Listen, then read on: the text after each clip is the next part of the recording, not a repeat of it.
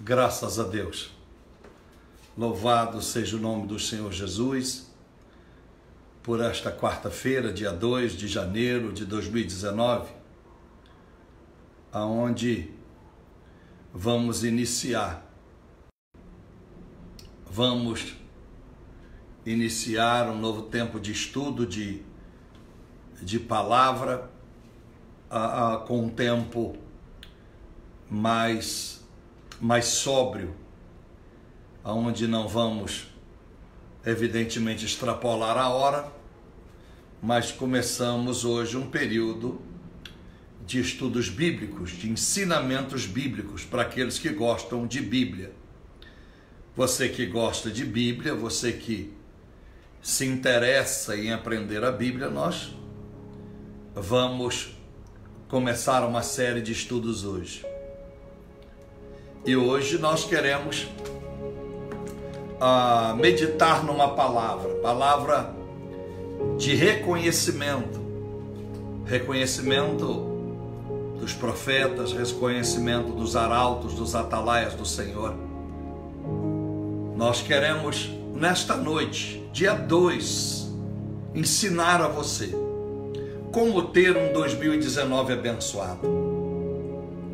Como ter um um 2019 sem essa esse ilusionismo dessa esperança remota que nasce no coração das pessoas, sempre no início de um ano. Quantas vezes você já deve ter desejado um ano bom? Você sonhou com tantas coisas e nada aconteceu na sua vida. Quantas vezes você foi à igreja de roupa branca? Quantas vezes você subiu ao monte? Quantas vezes você leu a Bíblia de trás para frente? Quantas vezes você jejuou? Mas as coisas não mudam.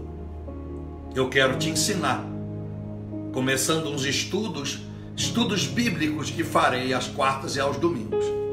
Às 20 horas, atrasar um pouquinho, porque eu estava fazendo reset na minha internet aqui em casa, para que pudesse a imagem, o som e de uma forma perfeita até o celular.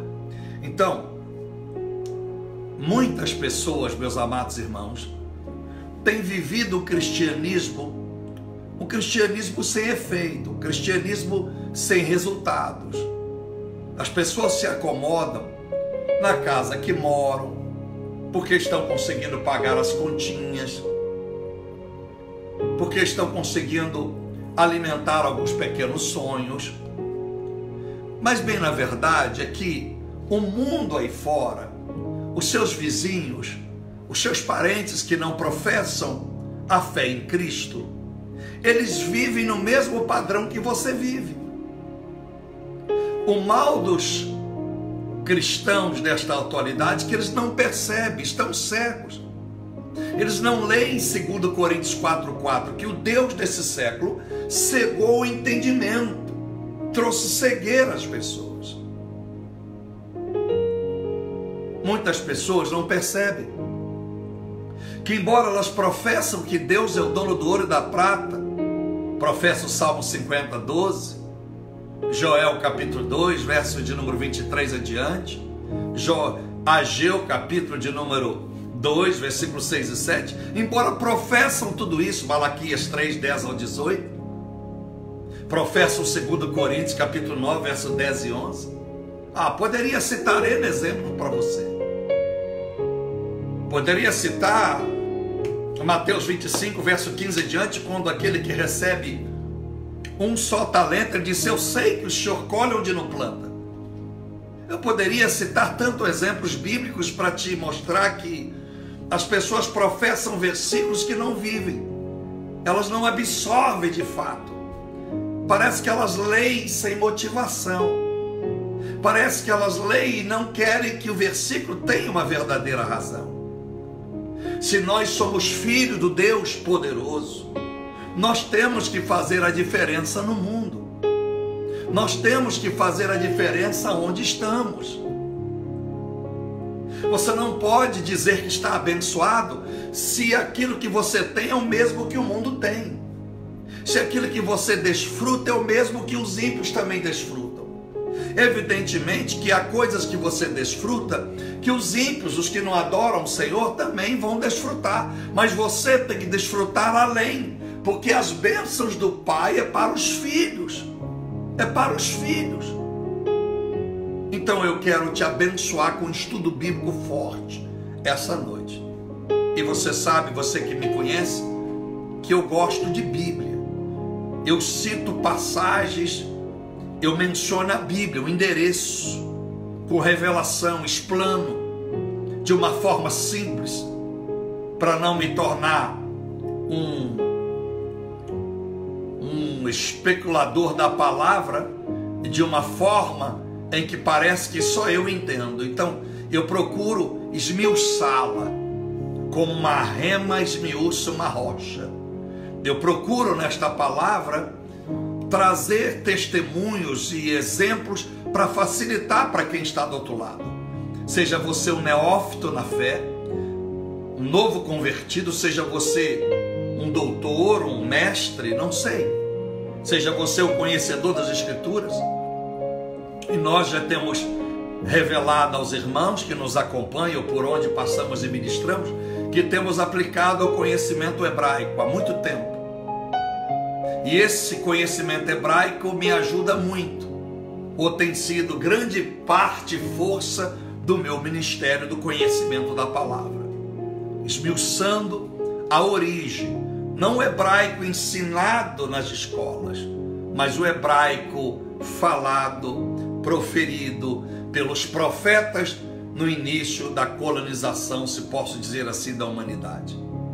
Então, você quer um 2019 abençoado? Você quer sair dessa, desse grupo dos ilusionistas que, que professam, mas aceitam que o mundo, que o ano seja igual de 2018 ou pior? Você aceita pequenas melhoras? Eu aceito, mas sabendo que Deus tem muito mais para nos dar. Efésios 3:20. Ele dará além do que nós pedimos e imaginamos. E por que não vivermos isso em 2019? Hoje é dia 2, quarta-feira, o primeiro dia útil do ano de 2019. Não deixa as pessoas te envolver com aquilo que o mundo pelo diabo faz. Daqui a pouco vão começar a dizer para você, olha, o Brasil só começa depois do carnaval. Aí você aceita ser derrotado até o carnaval. Não é assim? Não deixe as pessoas dizer para você que o mundo só começa depois da Semana Santa. Você vai ficar derrotado, esperando até que passe a Semana Santa. Vamos dizer para você que janeiro é um mês ruim, é um mês em que todo mundo está de férias, mas e que você não precisa esperar muito no seu comércio, porque o comércio é muito fraco. Bom, mas todo mundo come, ninguém come menos em janeiro, é verdade? Mas se ninguém come menos, então é melhor eu mexer com montar uma mercearia, porque aí o meu comércio vai ser benção, porque alguém está comendo. Ah, pastor, o comércio para tudo. As pessoas parecem, parece o quê? Elas foram, não viajaram aí. Então, em algum lugar, as pessoas da minha cidade viajaram para lá. É melhor então que no mês de janeiro, que todo mundo diz que alguém da minha cidade viajou, então eu vou viajar para a praia, vou vender salada de fruta com leite condensado. Hello, meus amados irmãos. A Eletropaulo não tira férias. A empresa de energia elétrica do seu estado não tira férias. A empresa que fornece água na sua casa não tira férias. A conta vai chegar. O IPVA não tira férias. Hello. Você tem filho pequeno, netinho, para você ajudar? Você já fez o cálculo quanto você vai gastar de, de, de material escolar esse ano? Televisão está dando aí que o material escolar vai ter um aumento maior do que a inflação. Aí você vai aceitar dizer que é crente, que Deus é poderoso, Deus vai me prover sem fazer a sua parte. Você vai aceitar as pessoas rotular você. Você não pode aceitar isso. Então eu quero pregar esta palavra. Eu vou ministrar um texto, esse esboço, para você, fazer você entender os princípios, numa série de estudos bíblicos, os princípios para que eu seja abençoado. Então aproveita que hoje é dia 2. Aproveita esse estudo que eu vou lhe dar agora, para você passar para o seu pai, para sua mãe, para o seu esposo, para sua esposa, para os seus filhos, para os seus amigos, seu noivo, sua noiva, seu namorado. Não casa com fracassado, não hello. Entrou 2019 solteiro, é melhor ficar sozinho do que casar com fracassado. Casar com fracassada, casar, casar com pessoas pessimistas, casar com pessoas folgadas, que só quer berço esplêndido. Não, nós temos que ser vencedores. Vencedor também não estou dizendo que a sua conta bancária tem que ter bilhões. Vencedores é aquele que vive com dignidade. Vencedores é aqueles que chegam aonde os seus sonhos determinaram a chegar. Não é ninguém que decide aonde você chega. É você que aceita chegar aonde chegou, porque alguém entrou na sua mente, no seu coração e idealizou ideias que ofuscou a que você já tinha. Porque muita gente sempre sonhou grande, mas aí a mãe disse que está sonhando demais, meu filho. Olha onde você mora, você mora na favela, você é preto, ó, você é feia, você é feio, você é pequeno, você é gorda. Enfim, as pessoas ficam rotulando seres humanos. E eu quero te abençoar com esse estudo bíblico. Eu quero abrir a sua mente. Eu quero abrir o seu coração e te ensinar algo que isso aqui não vem da internet, isso aqui não é copiado da internet. Isso aqui é um momento de oração, momento da reflexão, de mais de 20 anos de estudo bíblico, de conhecimento hebraico, de vida com o Espírito Santo, ainda que sou um pecador. Mas os meus erros não podem ofuscar e apagar o chamado que Deus tem para mim. Porque ainda que eu seja um miserável pecador, aquilo que o chamado me compete não ficará menor, porque o Deus que me chamou sempre será Deus, ainda que o seu chamado não merecia receber de Deus. Então, não glorifique o Pablo, não fique preso a mim, mas fique preso àquilo que eu vou pregar para você. Aí você confere, se é Bíblia, recebe de glórias, porque você será abençoado. Não olhe o vaso, olhe o conteúdo do vaso. O vaso pode ser feio por fora. Um vaso de barro, antigamente era assim, na época dos primórdios, patriarcas e matriarcas da fé. Era vasos de barro, grandes. Ali dentro escondia-se ouro, escondia-se prata, ali dentro se guardava o belo azeite, se guardava os grãos de arroz. Era assim. O vaso pode não valer nada, mas se dentro do vaso tiver algo precioso, amém. Isso aqui é uma capa de celular. Isso custa na China um dólar. Ela não vale nada, não é verdade? Mas o que vale é o que essa capa guarda, um celular que vale, no caso desse iPhone, dos iPhones melhores, quase 5 mil reais no valor do dinheiro brasileiro. Então, essa capa ela cai e se machuca, tá vendo? Tá gasta. Sabe por que, que ela tá gasta assim? Para que o meu celular não estivesse gasto e quebrado desta forma. Então, meu amado, eu posso, como o vaso está desgastado, posso ir ficando velho, posso ter os meus tropeços, mas louvo a Deus que o que está dentro de mim continua intacto porque aprove a Ele, pelo Espírito Santo, guardar o que Ele trouxe para comunhar contigo. Fica fácil entender no filho? Fica fácil. Eu exemplifico com muita modéstia, ou quem sabe para alguns falsa modéstia, para que todos entendam a palavra do Senhor. Então eu quero hoje meditar com os irmãos aquilo que muitas pessoas já me perguntaram: por que um pastor cobra para pregar? Não deveria.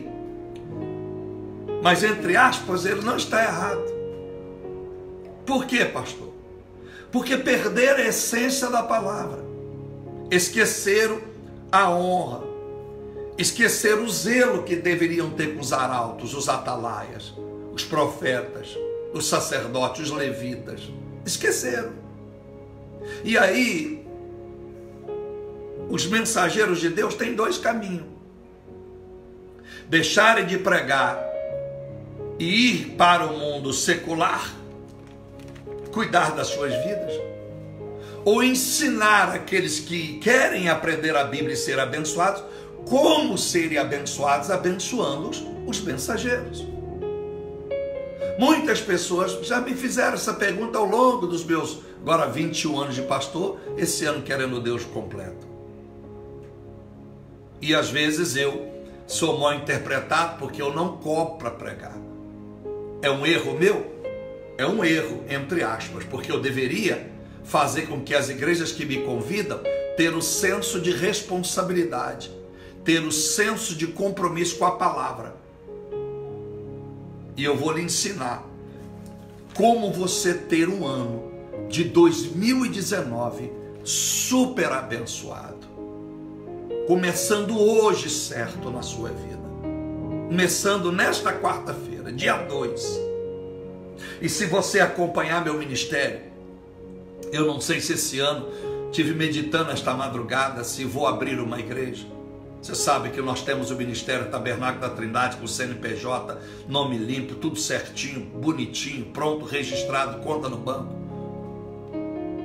Mas eu disse para Deus, talvez eu esteja errado, que se eu não, não tivesse uma esposa, eu não abriria uma igreja. Por quê, pastor? Porque com esposa já era difícil lá atrás, em 98, logo quando eu desejei abrir uma igreja e você já conhece a minha história. Imagine, depois de tantos anos sozinho, eu abri uma igreja e está lá sendo olhado muitas das vezes, me desculpe o termo, como objeto. Porque todas as vezes que eu tentei, as, as irmãs da igreja, parece que elas são donas de mim. Parece que eu sou objeto delas. Todas acham que pode mandar. Todas acham que Toda mulher que vai chegando está interessada no pastor e vira, vira um angu de caroço, vira, vira o largo do aroche, vira uma bagunça. Porque elas ficam brigando entre si. Não estou dizendo, não é porque eu sou bonito, não. Não é porque eu tenho uma beleza, nada disso. É o diabo é que usa essas tais irmãs que ficam se gladiando, confrontando dentro da casa de Deus, como se o pastor fosse objeto delas. Elas sabem que não vão casar comigo, mas elas agem como se fosse a minha esposa. E aí criticam. Se chega uma mulher bem intencionada, ela é expulsa da igreja porque ela chega, se escandaliza, não volta mais no meu culto. Porque vê um monte de irmãzinha brigando. É assim, meus amados irmãos. Uma dá uma florzinha para mim, a meia dúzia fica com raiva. A outra dá um presente para mim, disse, ah, é bajuladora do pastor, está de olho no pastor. Então, eu enfrentei muito essas coisas e decidi só abrir uma igreja se eu tiver uma esposa do meu lado. Aí sim, minha esposa do meu lado, né? Se as irmãzinhas se atreverem a tomar aquela luta de jiu-jitsu, tomar aquela seja bom no karatê.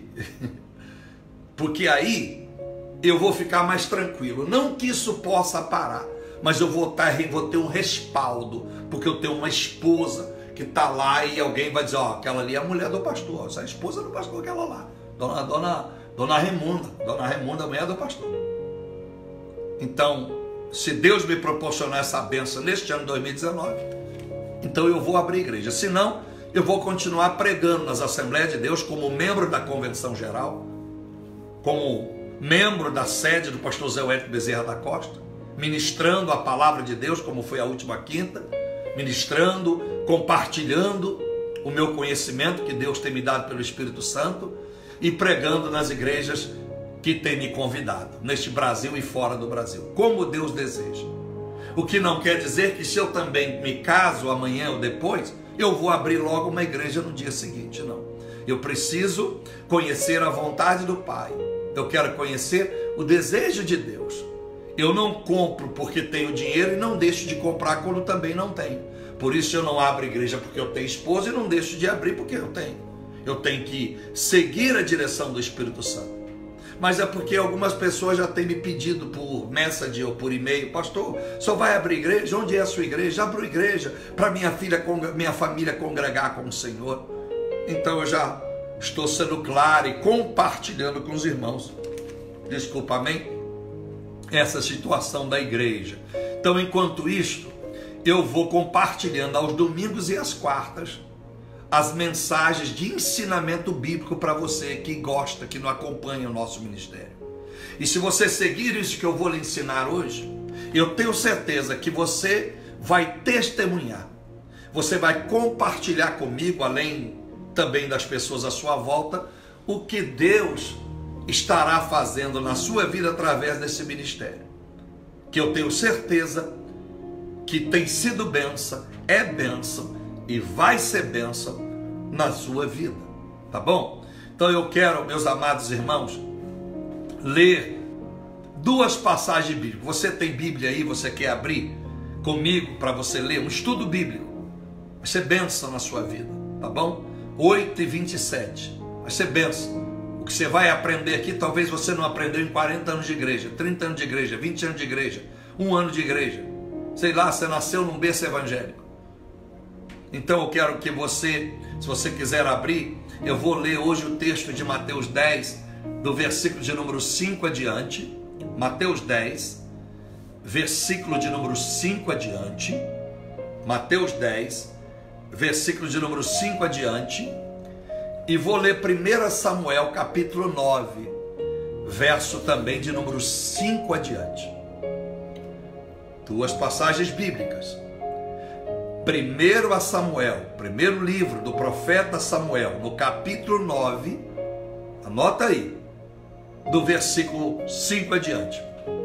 E quero ler Mateus, Evangelhos de Jesus Cristo, escrito segundo o apóstolo Mateus, no capítulo de número 10, a partir do versículo de número 5. Então vou ganhar tempo, vou ganhar tempo e vou ler. 1 Samuel capítulo 9, verso 5 diz assim: Vindo Saul e o seu servo então na terra de Zuf, Saul disse para o seu moço servo, com quem ele ia, a procurar as jumentas do seu pai. Vem, meu servo, e voltemos, para que porventura meu pai não deixe de inquietar-se pelas jumentas e se aflija por causa de nós. Porém ele lhe disse: Eis aqui, Saul, há nessa cidade um homem de Deus, e homem honrado é esse homem. Tudo quanto ele diz sucede assim infalivelmente. Vamos-nos agora lá. Porventura, nos mostrará o caminho que devemos seguir. O servo falando para o Saul, seu patrão. Verso 7. Então Saul disse ao seu moço e servo: Eis, porém, se lá formos, que levaremos então aquele homem? Porque estamos de mãos vazias. Porque o pão de nossos alforjes, sacolas, se acabou, e presente nenhum temos conosco para levar ao homem de Deus o que temos para dar. Olha a preocupação de Saul. Olha para você ver. Verso 8. Mas o moço e servo de Saul tornou a responder a Saul e disse: Eis que ainda, meu senhor, se acha na minha mão um quarto de um ciclo de prata, o qual darei ao homem de Deus, para que nos mostre o caminho. Dá uma pausa aí. Olha a consciência de Saul. Saul está indo procurar as jumentas, os animais do seu pai fugiu-se do pasto. Já passa-se três dias. Todo o provimento, talvez ele imaginou que um, dois dias teria resolvido o problema. Acabou o pão, acabou o seu dinheiro pessoal. Não tem mais como comprar, nem que tivesse pão no caminho para se adquirir. E o seu servo, o seu moço, diz que já ali onde eles estão, três dias de andança, há um profeta. E, e Saul disse: Não, ainda que esse profeta esteja lá, meu servo, não é certo que a gente chegue ao profeta sem uma oferta, então ofertinha para o profeta. Temos que dar algo ao profeta. Temos que levar um presente ao profeta. Não podemos ir lá buscar uma palavra, buscar uma oração. Como é que eu posso pedir ao profeta um conselho se eu, se eu não tenho nada para honrá-lo? Olha a preocupação de Saul. E o moço diz então: Mas eu ainda tenho aqui um quarto de ciclo de prata. Vou dar ele a esse moço para nos ajudar. Coisa segunda, coisa linda, é que esse moço, com certeza mais pobre que o seu patrão, o dinheiro ainda estava lá, né? Como se eu fosse. Imagine você trabalhando comigo na minha empresa. Aí eu digo para você: olha, vamos viajar para o Rio de Janeiro. Vamos viajar pela empresa. Quem vai pagar a conta? Você ou eu? Eu, eu sou o patrão. O certo é eu, né? Sim, pagar gasolina, pagar seu almoço, a janta, seu hotel. Por isso é que esse servo ainda tinha um trocadinho. Porque até ali o seu patrão Saul bancou aquela viagem. Mas esse servo, mesmo ganhando pouco e tendo tão pouco, ele disse: O que eu tenho eu darei ao homem de Deus para que ele nos mostre o caminho. Olha que desprendimento. Ele não pediu, olha, eu vou emprestar ao senhor, meu patrão, depois só devolve quando chegar lá na cidade. Não. Olha, olha o desprendimento, o valor, o, o, privilégio que ele está sentindo. Eu posso ser pobre, ganhar muito pouco, mas que privilégio eu poder dar tudo e o melhor que eu tenho ao profeta para nos mostrar o caminho. Quando você lê o texto atentamente, vagarosamente, com reflexão bíblica, você vai entendendo os valores que estão aqui que vão se decompondo, vão se diluindo, vão se dissipando, porque as pessoas não lêem a palavra de uma forma correta. Então, ele então diz assim, no verso de número 9: Porque antigamente em Israel, indo qualquer um consultar a Deus, dizia assim: Vinde e vamos ao vidente, porque o profeta de hoje antigamente se chamava vidente.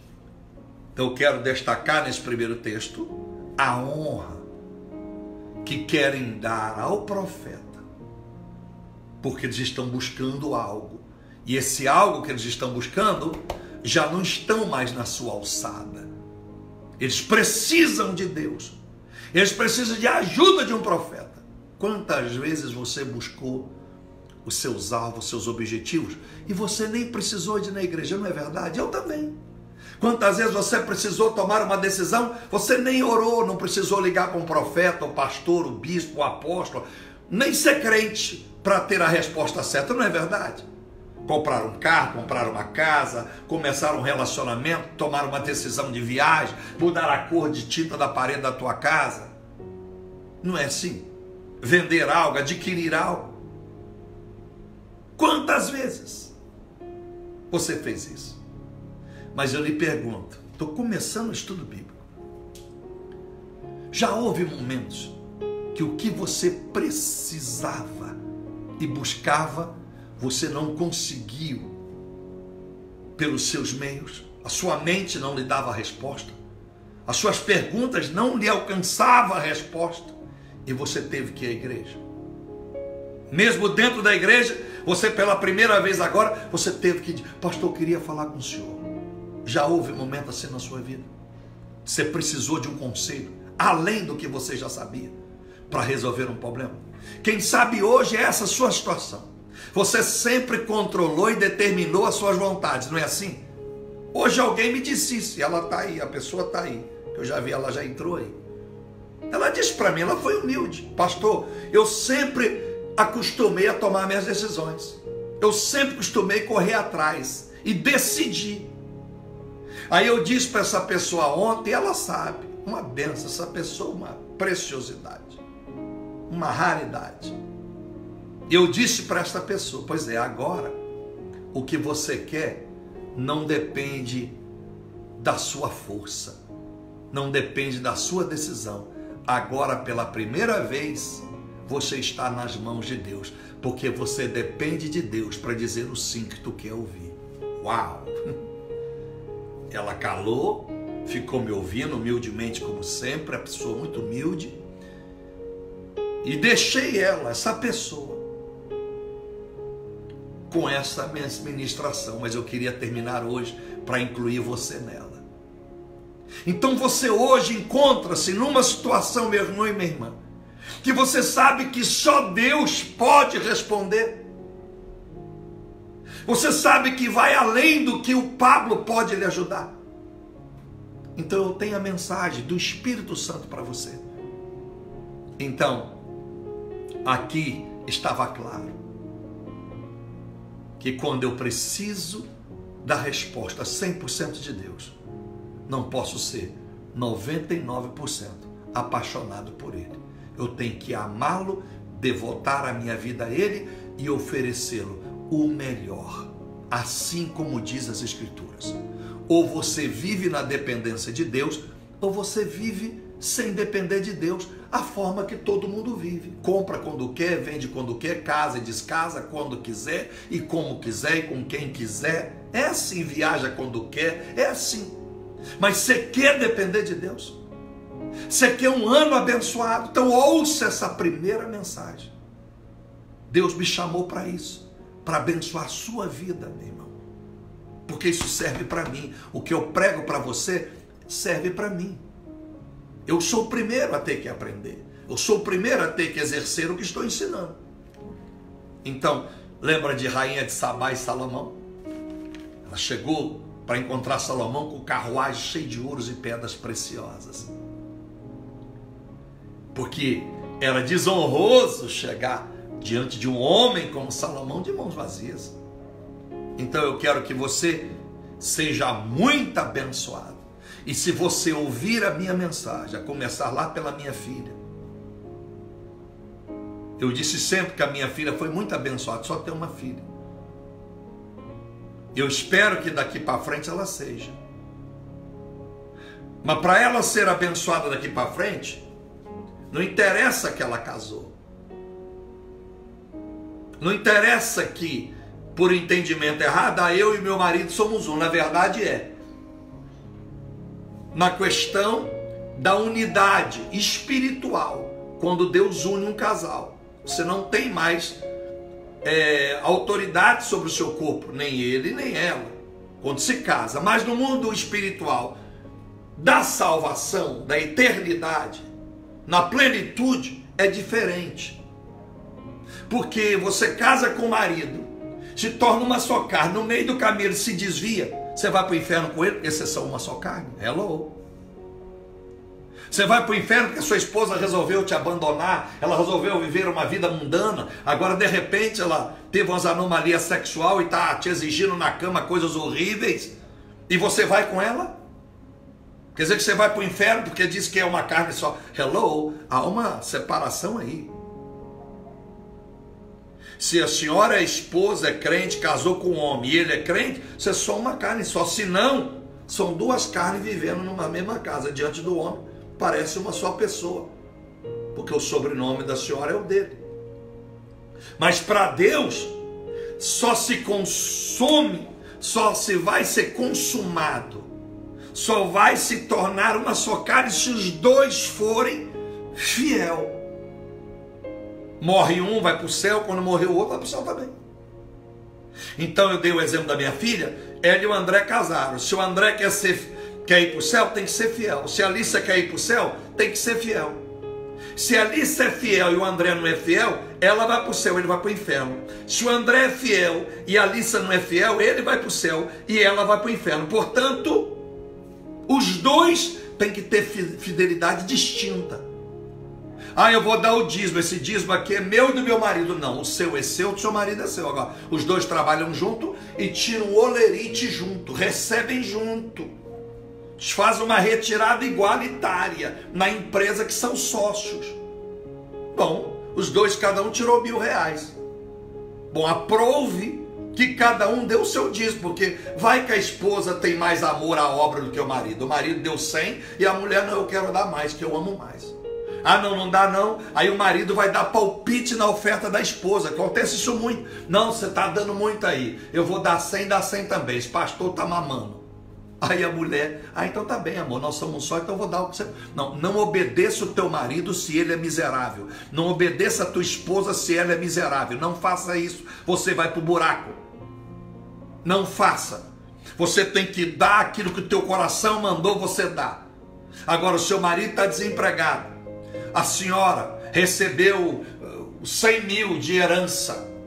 Então você chega diante de Deus, se Deus, eu estou dando desses 100 mil de herança, meu marido está desempregado, eu estou dando 400 mil de oferta para mim e para o meu marido. Aí é bonito, é bonito. E vice-versa. O marido, a esposa está desempregada, ele ganha bem, ou não importa quanto ele ganha, eu estou dando meu bem, você está desempregada, você é apenas, é, você é a mulher do lar, não tem assim, ainda tem muita Amélia ainda, que só cuida de casa. Diz, olha, então, o meu salário está aqui, o meu dízimo e o seu, botar no envelope. Pedro e, Pedro e Maria, botar aqui no envelope. Aí tá certo. Aí tá certo. Então eu estou explicando fácil para você entender. E você ter um ano abençoado e não dizer que ninguém te ensinou. Então eu estou lhe ensinando. Tá bom? Então, eu quero que você seja abençoado. Você quer colher? Comece o ano plantando. Mas plante na terra boa. Plante na terra fértil. Qual que é a terra fértil? Eu não olho a terra fértil pelo nome da igreja, pelo tamanho da igreja. Terra fértil é onde se prega a palavra fértil, viva e pura esse é o campo fértil. O campo para você semear suas finanças não está atrelado na igreja de pedra. Aí eu congrego na Concórdia, eu vou dar lá na Concórdia. Eu congrego na Zona Sul, vou dar na Zona Sul. Eu congrego na Zona Leste. Não, meu amado irmão. Porque você pode estar congregando no lugar errado, que não está pregando a mensagem, você não muda a mensagem, não faz nem cócega porque ela é fraca, porque tem muita gente cantando, tem muito enceba-ceba, muito lero-lero, muita, muita, muita falácia e pouco evangelho. Então essa terra não é boa. É como se você semeasse dez sementes, só duas produziu, porque a terra não é boa. Então a terra boa é aquela que é a palavra, a terra é boa. Tudo que eu ouço é forte, me faz refletir, ainda que você erre, ainda que eu erre. Errar por desconhecer a palavra é uma coisa, errar por fraqueza, ainda que eu conheça a palavra, é outra coisa. Porque se você continua errando, mas você não tem uma palavra forte que te pregam, a sua tendência é nunca melhorar, porque a palavra é muito fraca, o remédio é muito fraco. Mas se você ouve uma palavra de vida forte, você pode dormir errando essa quarta, mas a probabilidade a qualquer momento você sarar é muito grande, porque você continua ouvindo a palavra forte, a poderosa. Uma hora você volta lá, assiste de novo e diz: Eita palavra, é essa aí. É isso aí, meus amados irmãos. Quer ser abençoado? Começa bem o ano. Começa bem. Aleluia. Faça do ano de 2019 o ano da semeadura. Vai ser uma série de estudo, vai te ajudar na área financeira, na área conjugal. Me comprometi a lançar os livros sobre, os sete livros sobre pais e filhos. Você que tem dificuldade de criar filhos, você que é vovó, quer ajudar seu filho, a sua filha, a sua nora, o seu genro a criar os filhos vai ser bênção, tudo lançado na Expo Cristã. Livros sobre missões, livros sobre escatologia, o Espírito Santo, um volume 1, 2 e 3. Vai ser bênção. E eu quero crer que esse ano é um ano em que Deus vai me dar muitas pessoas abençoadas que vão acreditar que esse ministério é do Senhor. E que esse ministério vale a pena estar tá de pé, vale a pena eu ter esse culto na internet? Vale a pena eu fazer missões? Então eu quero ler para você, eu já li 1 Samuel, agora vou ler Mateus, último texto, e vou pregar para ti. Meus cultos já te antecipando, os cultos de ensino são duas horas. Ô pastor, é muito tempo. Ué. Eu prefiro duas horas ser curado do que ficar a vida toda enchendo linguiça e minha vida não mover para lado nenhum. É assim, meus amados irmãos. Você quer se formar? Já estudou? Tem alguém na sua casa que estuda? Você já viu um curso, uma faculdade boa? A pessoa graduar aí um ano? Só essas picaretagens aí, não. Cinco anos, não é? Cinco anos, seis anos. Médico, depois tem que fazer residência, mais três anos. Pau come. E depois? Pois parou não, mestrado, doutorado. Aí como é que você quer? As pessoas querem aprender a Bíblia em meia hora. Como é que as pessoas querem se alimentar se elas não têm tempo para ouvir atentamente a Bíblia Sagrada? Aí eu vou fazer igual muitos já me aconselharam, pastor, só devia fazer tudo mensagem de três minutos. Aí, você é preguiçoso. Olha o conselho dos bodes. Não a mensagem de três minutos, que aí todo mundo ouve. O que, que, que três minutos resolve, meu irmão? O que, que três minutos resolve? Nem o remédio para dor de cabeça não passa em três minutos, é no mínimo uns 10 minutos quando você toma para dor de cabeça passar, ué. Não é assim? Ué, se o remédio para dor de cabeça precisa de uns 10 minutos no mínimo, tem que ser bom. Uma quimioterapia não é uma sessão só, tem que ser algumas, ainda tem. A pessoa perde um cabelinho aqui, perde ali, perde acolá, o olho fica com olheira. Como é que a pessoa vai ser curada no mundo espiritual em três minutos? Então, eu zelo pela palavra. Então, nós não estamos aqui buscando um fã-clube, mas aqueles que verdadeiramente não aceitam 2019 de fracasso, não aceitam ficar com a vida desgraçada dizendo que é crente quando está todo mundo vendo que esse negócio de dizer que está crente não está mudando nada. Está mais quente porque está mais perto do inferno, da miséria, da desgraça, do lixão do que de Deus. Então, se nós queremos professar, profetizar que nós somos crentes, somos filhos do Deus vivo e que 2019 será benção, então vamos mudar de atitude. Vamos mudar de atitude, vamos lutar. Vamos comer comida boa. Amém? Vamos comer comida boa, nós vamos crescer, nós vamos, vamos ficar forte. Verso de número 5 de Mateus 10. Jesus enviou estes doze discípulos e lhes ordenou, dizendo: não ireis pelo caminho das gentes, nem entrareis em cidades de samaritanos. Mas ide antes as ovelhas perdidas da casa de Israel. Obrigado, Jesus. E indo pregai, dizendo: É chegado o reino dos céus. Curai os enfermos, limpai os leprosos, ressuscitai os mortos, expulsai os demônios, e de graça recebestes, e de graça dai. Quantos já disseram isso? É, pastor Aí ficar cobrando o evangelho aí tem que dar de graça. Vamos chegar lá.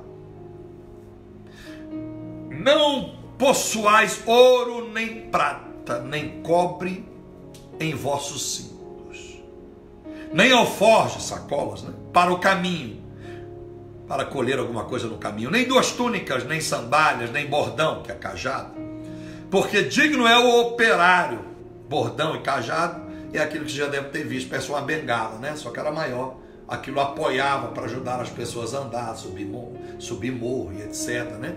Parava no deserto depois que andava muito. Fincava aquele cajado, aquele pedaço de pau com aquela curva na ponta, encostava o ombro ali e ali dava até para dar um cochilo. Então isso é o bordão, isso é o cajado.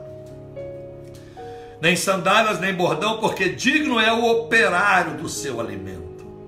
O digno é o obreiro do seu alimento. Obrigado, olha que coisa linda. Mas quem vai dar o alimento? Se, se de graça recebeis, não leva alforge, não leva nada, digno é o operário do seu alimento, do seu salário, quem vai dar então? Opa, começou a melhorar a sua mente aí. Vai entender. E em qualquer cidade ou aldeia em que entrardes, procurai saber quem nela seja digno só um digno reconhece o valor de um profeta, o valor de um mensageiro da palavra. Quem não é digno na cidade, ele diz, quando entrar na cidade, na cidade é cheio de, cheio de mutreta, cheio de muquirana, uma cidade é cheia de garrapicho, cheio de garrancho. Numa igreja, a cidade é a igreja, tem de tudo lá dentro. É igual a arca de Noé. Tinha animais limpos? Tinha, mas tinha animais sujos e os répteis que se arrastavam. Hello? É, Gênesis 6. E quando achares essa casa digna, verso 11, hospedai-vos aí, até que vos retireis. Como é bom quando a gente encontra uma casa boa. Quando é bom quando a gente encontra um lugar que a gente é bem recebido. Que a gente é tratado com dignidade. E que a casa é digna. Não adianta alguém me tratar com dignidade. O Pablo Escobar ressuscitasse e me tratar com dignidade. Ele me tratou com dignidade, mas a casa dele não é digna, porque é casa de droga. Então eu preciso ser tratado com dignidade, você precisa ser tratado com dignidade e você precisa estar num ambiente com dignidade. Entendeu? Vou repetir. Não adianta você estar no meio de pessoas, aquele galanteador, hein? aquela galanteador, ou ser lindo, ou mulher nobre, ou você é educada, ou nossa, como você é uma princesa. Ele te honrou, te tratou com dignidade, mas ele é um vagabundo. Ele é um vagabundo, é um 7-1. E vice-versa. A mulher, olha que profeta, oh, que homem de Deus, mas ela é uma prostituta, ela é uma mulher do mundo. Está entendendo? Nós, a bênção completa não é apenas eu te tratar com dignidade, é o meu lar, a minha casa, aonde estou, é digno para te receber.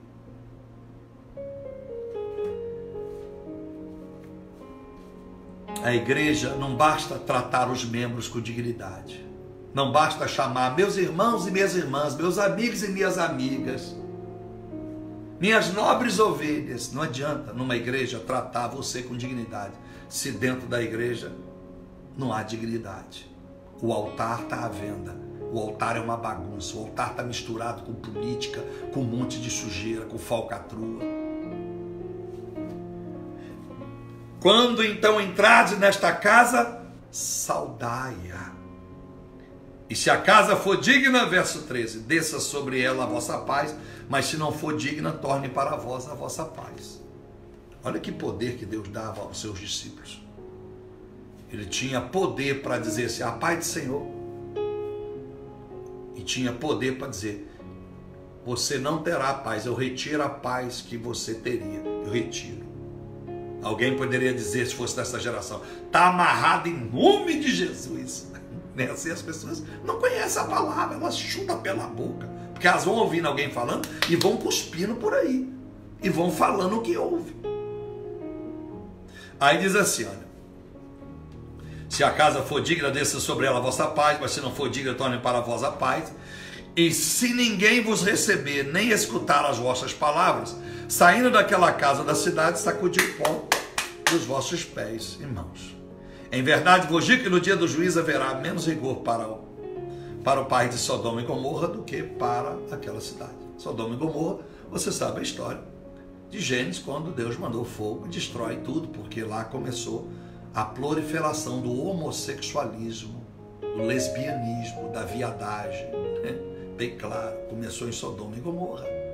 A idolatria estúpida, essas maquiagens dos, dos drag né? Os drag king começou lá, Queen começou lá, sabia? Não sabia, ué. Opa! Transsexual começou lá, ué. Sodoma e Gomorra. Um dia eu posso pregar isso, mas no meu livro Pais e Filhos eu tenho uma parte que eu vou falar sobre, sobre isso aí. Vai dar pau para manga. Eu vou falar, vai estar tá claro lá todos os versículos bíblicos. Como discernir que o meu filho está virando gay? Como discernir que a minha filha está calçando um número maior? Você vai ver, vai dar pau para manga. Mas vou fazer o quê? Tem que escrever, tem que falar perco a minha cabeça, mas não vou perder o meu chamado. Que a minha vida não termina aqui. Minha vida vai iniciar lá. Ela termina aqui se eu negar o evangelho. Aí ela termina aqui, porque o pau vai comer. No inferno não há vida, só há tormento. Então, meus amados irmãos, eu quero vos pregar, vos falar, e quero, são 20 e 55, vamos ver se até 9 e meia eu termino para te ajudar, e você for ficar abençoado. É, Jesus está dando uma orientação para os seus discípulos, uma orientação tremenda. Jesus está dando para eles algo que vai valer para suas vidas, algo que vai, desculpa, algo que vai ajudá-los a entender o princípio de ser abençoado e abençoar. Em Lucas capítulo 6, verso 12, Jesus passa a madrugada inteira no monte orando para escolher 12 discípulos de uma multidão que ele tem. Ele não teve só 12 discípulos, tinha uma multidão. Mas dessa multidão ele escolheu 12 para segui-lo mais de perto. E ele passou a madrugada toda. Ele não passou a madrugada toda para escolher 12, para que aqueles 12 fosse o símbolo da miséria, o símbolo da desgraça, o símbolo da pobreza, o símbolo de homens desgraçados. Não. Escolheu homens para que eles fossem cheios da unção, da autoridade, do poder. Você está vendo aqui, ó. Eles receberam, quando foram escolhidos, unção aqui, ó. Limpar leprosos, ressuscitar mortos, expulsar demônios, curar enfermos. Olha que tanta autoridade. Então, estava claro que aqueles homens receberiam de Deus, eram comissionados por Deus como unção, um chamado que seria a bênção para as pessoas. Mas para as pessoas que os recebesse com dignidade. As pessoas, há muita gente que foi curado por Jesus. Você concorda comigo no Novo Testamento? Muita gente. Mas a bênção parou na cura. Não prosperaram, a Bíblia não diz que prosperaram, cresceram dali adiante em outras áreas da sua vida. Quando Deus se aproxima, quando Deus te apresenta a sua vida, quando Deus te quer, quando Deus te traz para o lado dele, Ele quer abençoar a sua saúde, quer abençoar a sua vida sentimental, Ele quer abençoar os seus filhos, Ele quer abençoar a sua vida financeira. A sua vida não pode ser abençoada só no financeiro. O que, que adianta você ter dinheiro e ser infeliz sentimentalmente? Que adianta você não ter ninguém para amar? Se você decidiu não ter, amém. É benção, pastor. Eu decidi ser eunuco. Um eunuca de Jesus. Amém, foi uma escolha. Mas se você deseja olhar para o travesseiro do lado e ter alguém que você possa dizer eu te amo e também ouvir um te amo, Deus quer te abençoar. O que, que adianta você ter alguém que você diz te ama e ele diz te amo, mas você, quando abre a geladeira, só tem um carvãozinho e uma garrafinha de água lá dentro. É isso que Deus quer para a sua vida? Não. Deus quer que vocês prosperem. Agora não é o período das férias. Que adianta você se amar e vai para a igreja. Mas aí você não pode tirar umas férias porque você está durango. Você não pode fazer uma viagem. Não é nem para Paris, não. Vou nem chegar até Paris. Nem até a Disney, que é muito linda, embora alguns pastores imbecil diz que é, Disney é do diabo. Tem nada a ver, não estuda a Bíblia e fica colocando isso na cabeça de pessoas que, que têm vontade de ir lá aproveitar a vida. Disney é benção, meu irmão. Disney é benção, é benção pura. Muita benção. Vá para lá para você ver para Disney, você ver como é que não é benção. Os hotéis maravilhosos, a comida boa, o povo alegre, todo mundo sorrindo, músico o dia inteiro nos parques, todo mundo alegre, todo mundo brincando, os casais se esquecem dos seus problemas lá. Como é que pode ser negócio do diabo? Esses infelizes aí que nunca foram, tem medo de descer elevador e não quer que você vá lá e desça na montanha russa. Hello. Então, não vou mais nem falar de Disney, nem de, de, de, de, de, Paris. Você não gostaria de ir para uma praia em Maceió? Você gostaria de ir para um lugar lindo, hã? paradisíaco no Brasil? Gostaria de uma praia? Não, pai, eu não gosto de praia. Eu gostaria de ir para uma cidade, gostaria de ir para Gramados, para Canelas, viver uma nova lua de mel. Mas sem dinheiro, onde você vai? Concorda comigo? Você vai ter que ir para casa da sogra de novo, para casa do sogro. Vai ter que ir para o sítio do, do seu primo, aquele cunhado de Chatonildo. Você tem que aguentar a bucha lá. Porque você não tem dinheiro. O dinheiro que você tem dá para comprar dois quilos de carne, um, uma dúzia de laranja, uns dois pedaços de pão, para você dizer que não chegou na casa dele sem nada na mão. Deus quer nos abençoar, irmãos. Deus quer que você tenha as melhores férias. Deus quer que você descanse com honra. Deus quer que você viaje e seja abençoado. Porque quem criou todas as coisas foi Deus. O mundo é de Deus. Mas Jesus nasceu em Belém da Judéia, mas ele conheceu o Egito, era pequenininho, mas foi lá. Quantas pessoas morrem, nascem no mesmo bairro, nunca tiveram o privilégio de sentar num avião? Eu conheço gente em pleno século XXI que nunca entraram no avião. Não é por medo, não, porque nunca tiveram oportunidade de viajar. Nunca viajaram para fora do país.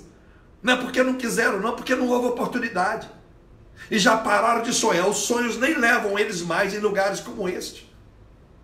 Então, o Espírito do Senhor, quando nós somos fiéis, ele nos leva a sonhar, nos leva a desejar tudo aquilo que o Pai tem reservado para aqueles que o amam. Você já viu falar inúmeras vezes, é Isaías 1,19. Se você quiser ouvir, comerás o melhor desta terra. Falei esses dias sobre Isaías 25, 4. O Senhor prepara uma nova aliança para o seu povo, uma aliança de bênção, uma aliança para te abençoar, uma aliança para mudar a tua história. Vamos ter um 2019 de verdade, irmãos. Vamos ter um 2019 que faz, que faça diferença, que faz sentido para que você tenha o privilégio de acordar de manhã para trabalhar, vai ter que acordar de manhã, tá difícil, mas você sabe que no final do mês você terá o resultado, vai valer a pena as madrugadas que você acordou para trabalhar, que você ficou até tarde fazendo os projetos, tentando decifrar como seria aquela reunião do próximo dia, mas você vai ver o resultado na conta bancária, no seu bolso. Você terá prazer de abençoar o próximo, você terá prazer de olhar para o teu carro e saber, eu vou trocar meu carro. Você terá prazer se o seu pneu estourar, você não ficará desesperado, porque você sabe que pode comprar um novo, você sabe que vai poder mudar a mobília do seu sofá, da sua, da sua sala. É isso que Deus quer para a nossa vida. Mas falta fidelidade nessa geração, uma fidelidade sem troca, uma fidelidade real. Então, esse texto está claro para nós. De graça dai, de graça recebei, de graça dai.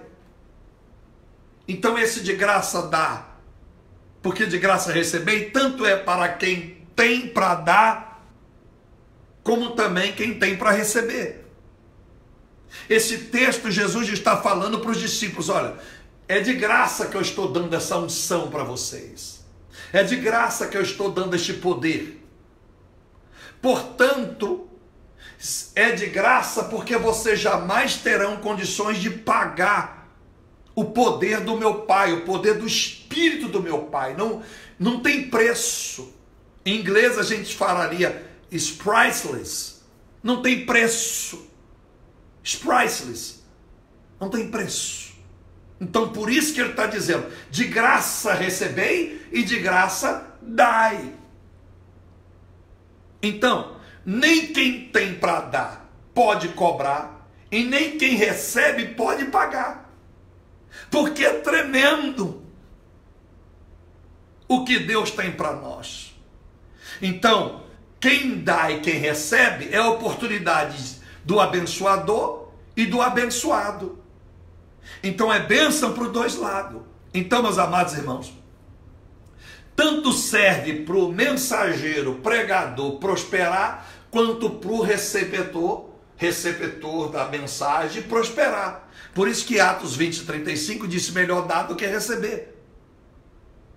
Então, dar é uma dádiva, dar é, dar é uma bênção.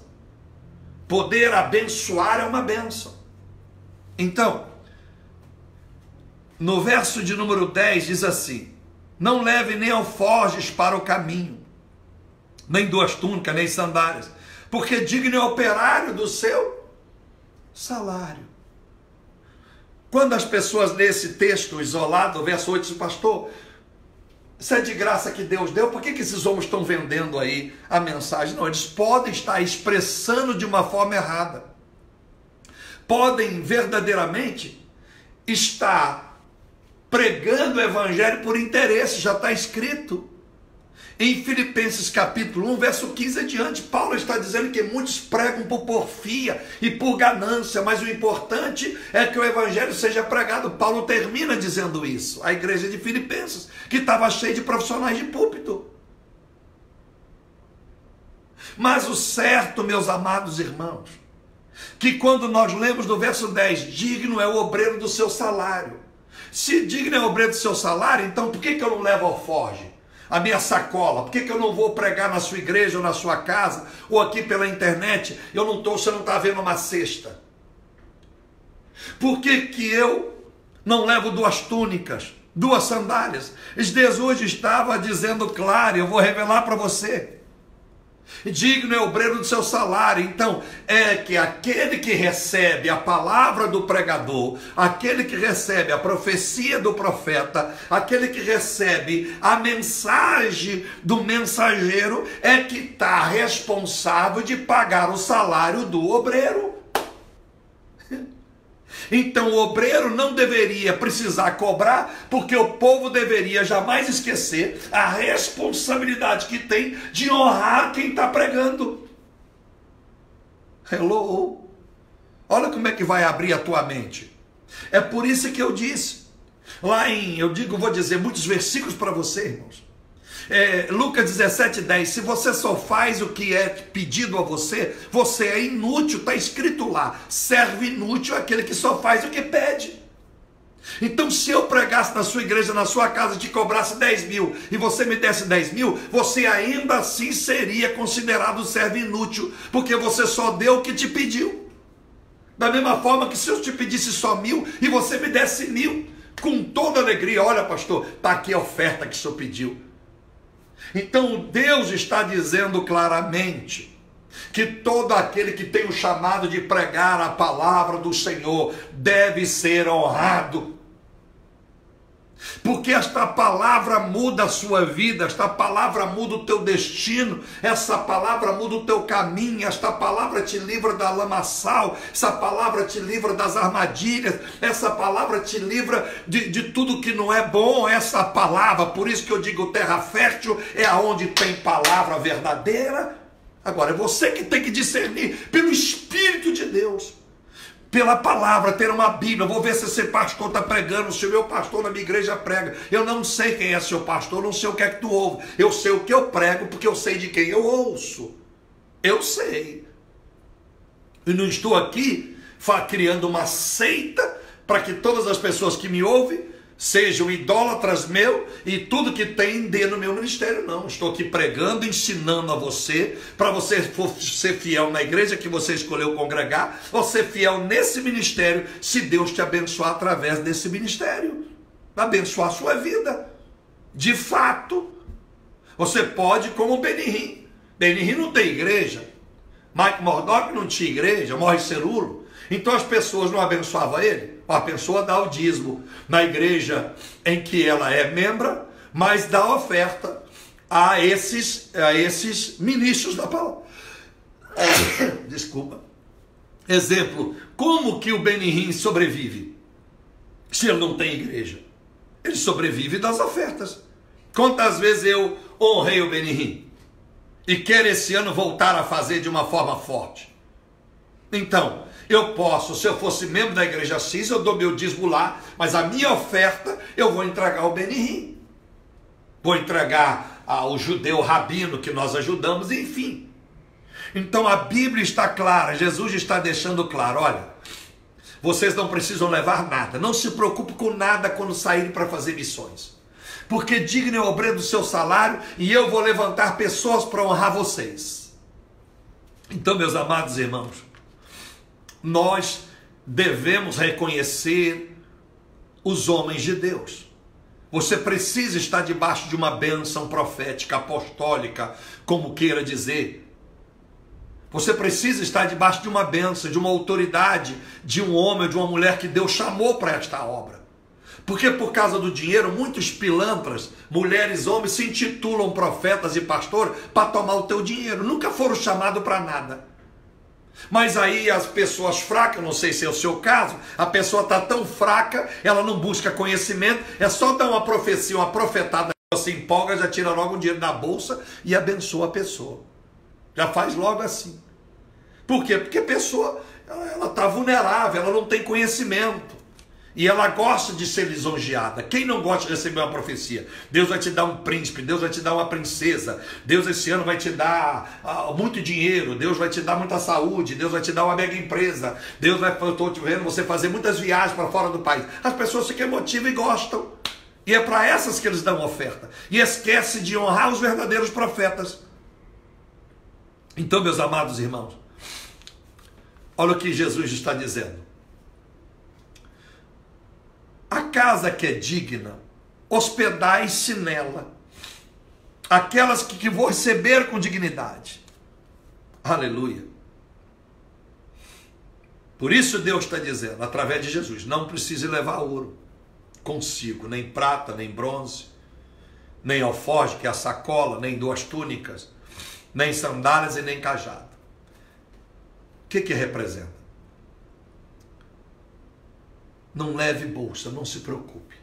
Um verdadeiro pregador do evangelho não precisava se preocupar com a luz se vai cortar, e devia ficar se preocupando em orar, buscar uma palavra de Deus, uma resposta de Deus para pessoas como você. O homem de Deus não poderia estar dormindo preocupado se vai pagar o aluguel. Preocupado que o seu carro está sem gasolina. Ele, a preocupação dele era estar envolvida com as coisas do reino. Porque ele sabe, ele, o homem de Deus, que há pessoas que estão se preocupando em suprir as necessidades dele. Por isso nós começamos lendo o texto de 1 Samuel 9, a história de Saul e o seu servo indo encontrar com o profeta Samuel porque não poderia ir na, diante de um homem de Deus que tinha uma palavra de, de bênção, uma palavra de direcionamento da vida, sem nada na mão. E quantas pessoas ouvem, não só eu pregar, vai numa igreja e não dão uma oferta, e quando dão, dão a sua pior nota, a sua pior moeda. Quantas vezes você já fez isso? Seja sincero com você, não precisa dizer para mim. Quantas vezes você entrou na igreja e você não se preocupou com dinheiro? Você só tem 50, 50 é para pizza pelo menos na Assembleia de Deus, ainda tem, que é um negócio que eu não concordo, mas pelo menos nessa hora é bom. Que o cara diz, ó, toma 50 aqui, só podia me devolver 45 reais. Mas nas outras não, o cara ele não tem trocado, ele não dá nada. E se ele tiver só 5, ele não dá, porque o 5 é do dinheiro da passagem do ônibus da manhã. Ele acredita mais que ele precisa chegar no trabalho amanhã do que Jesus vai voltar naquela noite com 5 reais que ele tem no bolso. É a hipocrisia das pessoas, a falta de fé. A falta de fé, muitas das vezes, a falta de uma mensagem tutano que entra dentro da alma da pessoa e a pessoa. Porque, por exemplo, o evangelho que Pablo prega tem duas uma: ou você converte ou você desvia, sabia? Ou, ou vou, vou melhorar: ou você me ama ou você me odeia. Porque esse evangelho aqui não tem capa, não tem maquiagem. É ou não é? E eu não prego, repito, porque eu sou santo, sou melhor, não. Eu prego que essa é a verdade. Independente de quem eu sou, eu tenho que pregar a verdade. Porque Deus não tem nada a ver com a minha miséria. Então, se eu prego a verdade, você tem que honrar. Você não pode ficar aí na internet recebendo amém, aleluia, glória a Deus, aleluia, aleluia. E o que é que você fez, tá bom? Para esse ministério que Deus levantou para abençoar a sua vida numa quarta dessa. Meus irmãos e minhas irmãs, já houve tempos que eu precisava. Hoje eu ganho muito bem. Eu ganho muito bem. Muito obrigado. Eu ganho muito bem. Eu moro bem. Olha, não dá para você ver, mas eu moro muito bem. O meu carro é muito bonito e muito bom. Opa! Eu visto muito. Opa! Você já me viu numa, na igreja meus terninhos? Hã? Os meus perfumes? Opa, com todo respeito, não tem jequiti não. Os meus perfumes é tudo francês do show. Não estou dizendo, eu estou só querendo te abençoar. Eu não estou aqui pregando para você mandar sacola de dinheiro para mim. É para você ser abençoado. Eu estou ensinando esta noite como ter um 2009 abençoado. É isso que eu estou te ensinando. Então é bom eu dizer para você que eu ganho bem. Porque se na empresa que eu estou não me dá o que eu creio que eu mereço, eu pulo para outra. Porque eu prefiro pregar o evangelho de graça na África do que trabalhar aqui no Brasil para ganhar merreca. Eu tenho que ganhar muito bem. E você não sabe, cada olho meu, você está vendo, é pequenininho aqui, mas o meu olho espiritual não cabe nesta casa, cada um deles. Porque eu sei aonde eu preciso chegar com o evangelho. Então, só para te ajudar. Então, não estou fazendo isso para você dizer, coitadinho do profeta, vou mandar um dinheirinho para o profeta, ele deve estar tá precisando tirar umas férias. Não, não, não, não, não, não.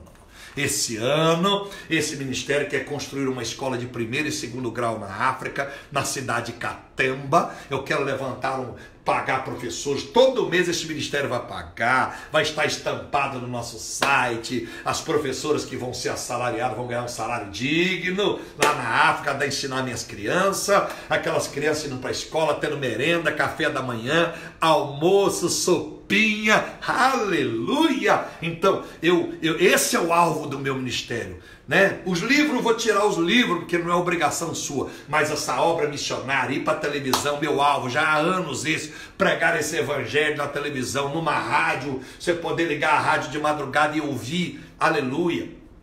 Então, meus amados irmãos, quando a Bíblia está dizendo, quando entras numa casa, não levais nada. Hello, eu entrei na tua casa. Aonde você está aí? Ah, eu estou no trabalho. Hello, está entrando no teu coração essa mensagem? É a tua casa. 1 Coríntios 3,16, a tua casa. Se eu entrei, você me permitiu entrar na tua casa para pregar esse evangelho. Deixa eu lhe dizer, que a sua casa seja digna e saiba honrar os profetas que Deus enviou na sua casa e você abriu a tua porta porque você quis para receber as palavras que vem de Jesus. Louvado seja Deus. Então, meus amados irmãos, Deus estava ensinando e eu muitas das vezes fui prejudicado por causa do meu orgulho. Meu orgulho não aceitava a oferta das pessoas. E Deus falou muito comigo esse ano de 2018 que passou. Meu orgulho. Ah, eu não quero, não cobro nada para pegar. Eu estava ganhando muita glória. Ah, esse pastor é diferente de todos. Deus me cobrou isso. E esse ano, esse ano eu vou ter uma, já tem uma secretária abençoada, tem um secretário abençoado no nosso escritório, temos Rodney abençoada, Daniela, sua esposa abençoada, tem uma Fernanda, tem até mais gente que quer ser, tem uma Lília, mas a Lília no México está na América, mas a Daniela querendo, Deus será a minha, a que vai fazer minha agenda. Então, isso aí, olha, você quer levar o profeta aí? Sim, ó, o profeta é o seguinte: o profeta, ele quer que o senhor leia e medite Mateus 10. E também em 1 Samuel 9. O senhor medite aí que o profeta é o seguinte, ele tem obra na África, na Índia, e quando ele vai para a África, para a Índia, para a China, nem, são meia dúzia que preocupa com ele. Então ele não, não, ele não vai aí pregar na igreja do Senhor, o Senhor dar para ele uma pizza depois que ele prega duas horas, que vai enrolar o estômago dele. Ele vai, ele vai continuar pregando na internet, que é pela internet que vem 90% das ofertas o pastor Pablo ter ido fazer missões em Teoflotone, na China, na África, em Hong Kong. Hello, vai ser assim esse ano. Vai ser assim esse ano. Ensinar as pessoas. Então, esse orgulho meu vai sair. Esse vai sair. Então, as pessoas vão ter que cumprir viver esse evangelho. Então, se você acredita que eu estou sendo benção, que eu estou te pregando a palavra, que eu estou esmiuçando a palavra, tanto falamos mal do Silas. Se o Silas não tivesse pedido como pediu, ele teria aquela igreja maravilhosa que ele tem? Teria? Ele estaria na Band como ele está? Estaria. O R. Soares estaria na, na televisão? O Edir Macedo estaria na televisão? Ah, mas eles estão, pastor. Oh, mas e eu? Eu não posso estar? Não. Se eu não peço, eu não vou. Então é melhor que eu peço para que eu vá. Concorda? É melhor que eu peço. Porque eu, eu, eu dei uma de humilde. Escondi o meu orgulho na humildade falsa. Não fui para lá nenhum. Então é melhor que ninguém me elogia que todo mundo me chama de bote desgraçado, é mais um, e eu posso ir para a televisão e alcançar milhares de almas, eu posso de verdade construir uma mega escola de primeiro e segundo grau na África, onde as crianças nunca vão na escola, não é melhor assim? Então agora eu acabei com orgulho, então agora eu vou abrir essa boca e vou falar a minha secretária. Quando alguém me ligar, pastor, alô, é, o senhor faz agenda, por gentileza, o senhor podia ligar no número 22364517 e falar com a dona Daniela e ela vai dizer para o senhor que Deus abençoe o senhor num trato desse assunto. Viu, meu pastor? Te amo, hein? Vai ser assim. Porque eu já vou fazer 56 anos, dia 17 de março. Não parece muito, cada misericórdia de Deus. A L'Oréal existe, a L'Oréal me ajuda. E Deus é bom. E a Nossa Senhora da Plástica também já me ajudou uma vez aqui. Me ajudou a Nossa Senhora da Plástica. Só que não é a Nossa Senhora da Plástica, o Nosso Senhor que abençoou a mão de alguém da plástica me ajudou. Louvado seja Deus. Então, meus amados irmãos, eu quero dar a você a oportunidade, essa noite, de você abrir o teu entendimento e ser abençoado. Tá bom? Se Deus te levantar profeta na sua vida, cuide de ser parte da prata e do ouro que vai na casa dele. Você quer prosperar? Um pastor também tem direito. Todo mundo entra na todo mundo quer criticar a Universal. Todo mundo entra na igreja para melhorar a sua empresa. Você não vê o testemunho? É porque eu tinha uma empresa quebrada, agora a empresa melhorou, tinha um carro, agora tem a três, e papapá, eu tinha um casamento falido, agora meu casamento melhorou. Mas eu queria que alguém subisse. Eu quero dizer aqui que eu estou subindo na igreja do pastor Pablo aqui, e aqui o Deus me abençoou, mas eu quero também testemunhar. O pastor Pablo era pobre, ficou rico, o pastor Pablo não tinha carro, agora tem carro, o pastor Pablo tinha esposa, agora tem esposa, o pastor Pablo não tinha lugar para morar bonito, agora mora bonito. Não seria bom? Não seria bom. Você gostaria que o seu Deus fosse um favelado? Você ia crer nele? Você gostaria que seu Deus fosse um frouxo, um fraco? Você ia crer nele? Mas se nós dizemos que Deus é dono do ouro da prata e Deus é poderoso, amém. Então que o seu pastor, o que você escolheu para ser seu pastor, o seu profeta, o seu mensageiro, o seu conselheiro, que ele seja abençoado, que você tenha prazer de apresentá-lo. Esse é o meu pastor. Bafo de onça, dente tudo quebrado, hein? cabelo no nariz, cabelo saindo pelas orelhas, rebela no olho, nos olhos, hã? óculos quebrados, remendado com durex, cabelo todo arrebentado, camisa velha, sapato velho, um carro sem ar, um calor desgraçado. É esse o pastor que você quer? Não é esse que eu quero para mim, não. Não, não, não, meu não, meu, o meu é chama Jesus. Tinha uma casa em Cafarnaum, na Cafarnaum, à beira da praia, e foi para o céu e está na glória porque não encontrou lugar no Alphaville para comprar que fosse a altura dele. Então, ele, você lá, lá, lá, Las Vegas não tinha, Champs-Élysées não tinha, Alphaville não tinha, não, foi para os céus. Então, eu sou um pastor e estou empresário, embora gostaria de ser só pastor, mas por falta de pessoas fiéis, eu tenho que ser pastor e empresário. Mas Deus vai encaminhar as coisas e vai dar certo, porque eu tenho certeza que se Deus me der 20 pessoas, só tem seis se Deus me der mais 14, uh, aleluia! Você vai me ver pregando na rádio, televisão, 20 pessoas de fé, 20 pessoas que amam essa obra. E eu tenho agradecido a Deus por pessoas humildes como Felipe, pessoas humildes como a dona Márcia, pessoas é, que são constantes, Lídia, são constantes, eles, eles não ficam esperando o final do mês. Se tiver hoje 100, eles dão, se tiver amanhã 50, ele dá. A dona Márcia não assiste um culto sem que ela coloque 50 reais. Dona Márcia, um culto, pode ser domingo, feriado, ela vai lá no banco e coloca o dinheirinho. Valorização. Ela está vivendo Mateus 10. Deus tem que honrar. É por isso que Deus tocou no meu coração e disse: monta uma empresa para Dona Márcia, para Manel e para Fátima. E você, meu filho, não tire nada para ti. A sua parte da empresa de desentupir, de, é, para desentupir, para fazer limpeza de caixa, etc, etc, etc. O dinheiro é todo para missões. Deus honrou eles, está honrando eles. Ela está aí online aí, sabia não? Dona Márcia Martinez está aí. Manel Martinez está aí. Fátima Aquino está aí. E se forem fiéis, essa empresa vai crescer. Porque já tenho notícias que já tem contrato de 4 mil, de 6 mil, mais 20 torres. Tá cheio de trabalho chegando. Olha aí, ó. Quem que Deus usou? O profetinha, profetinha, abençoar.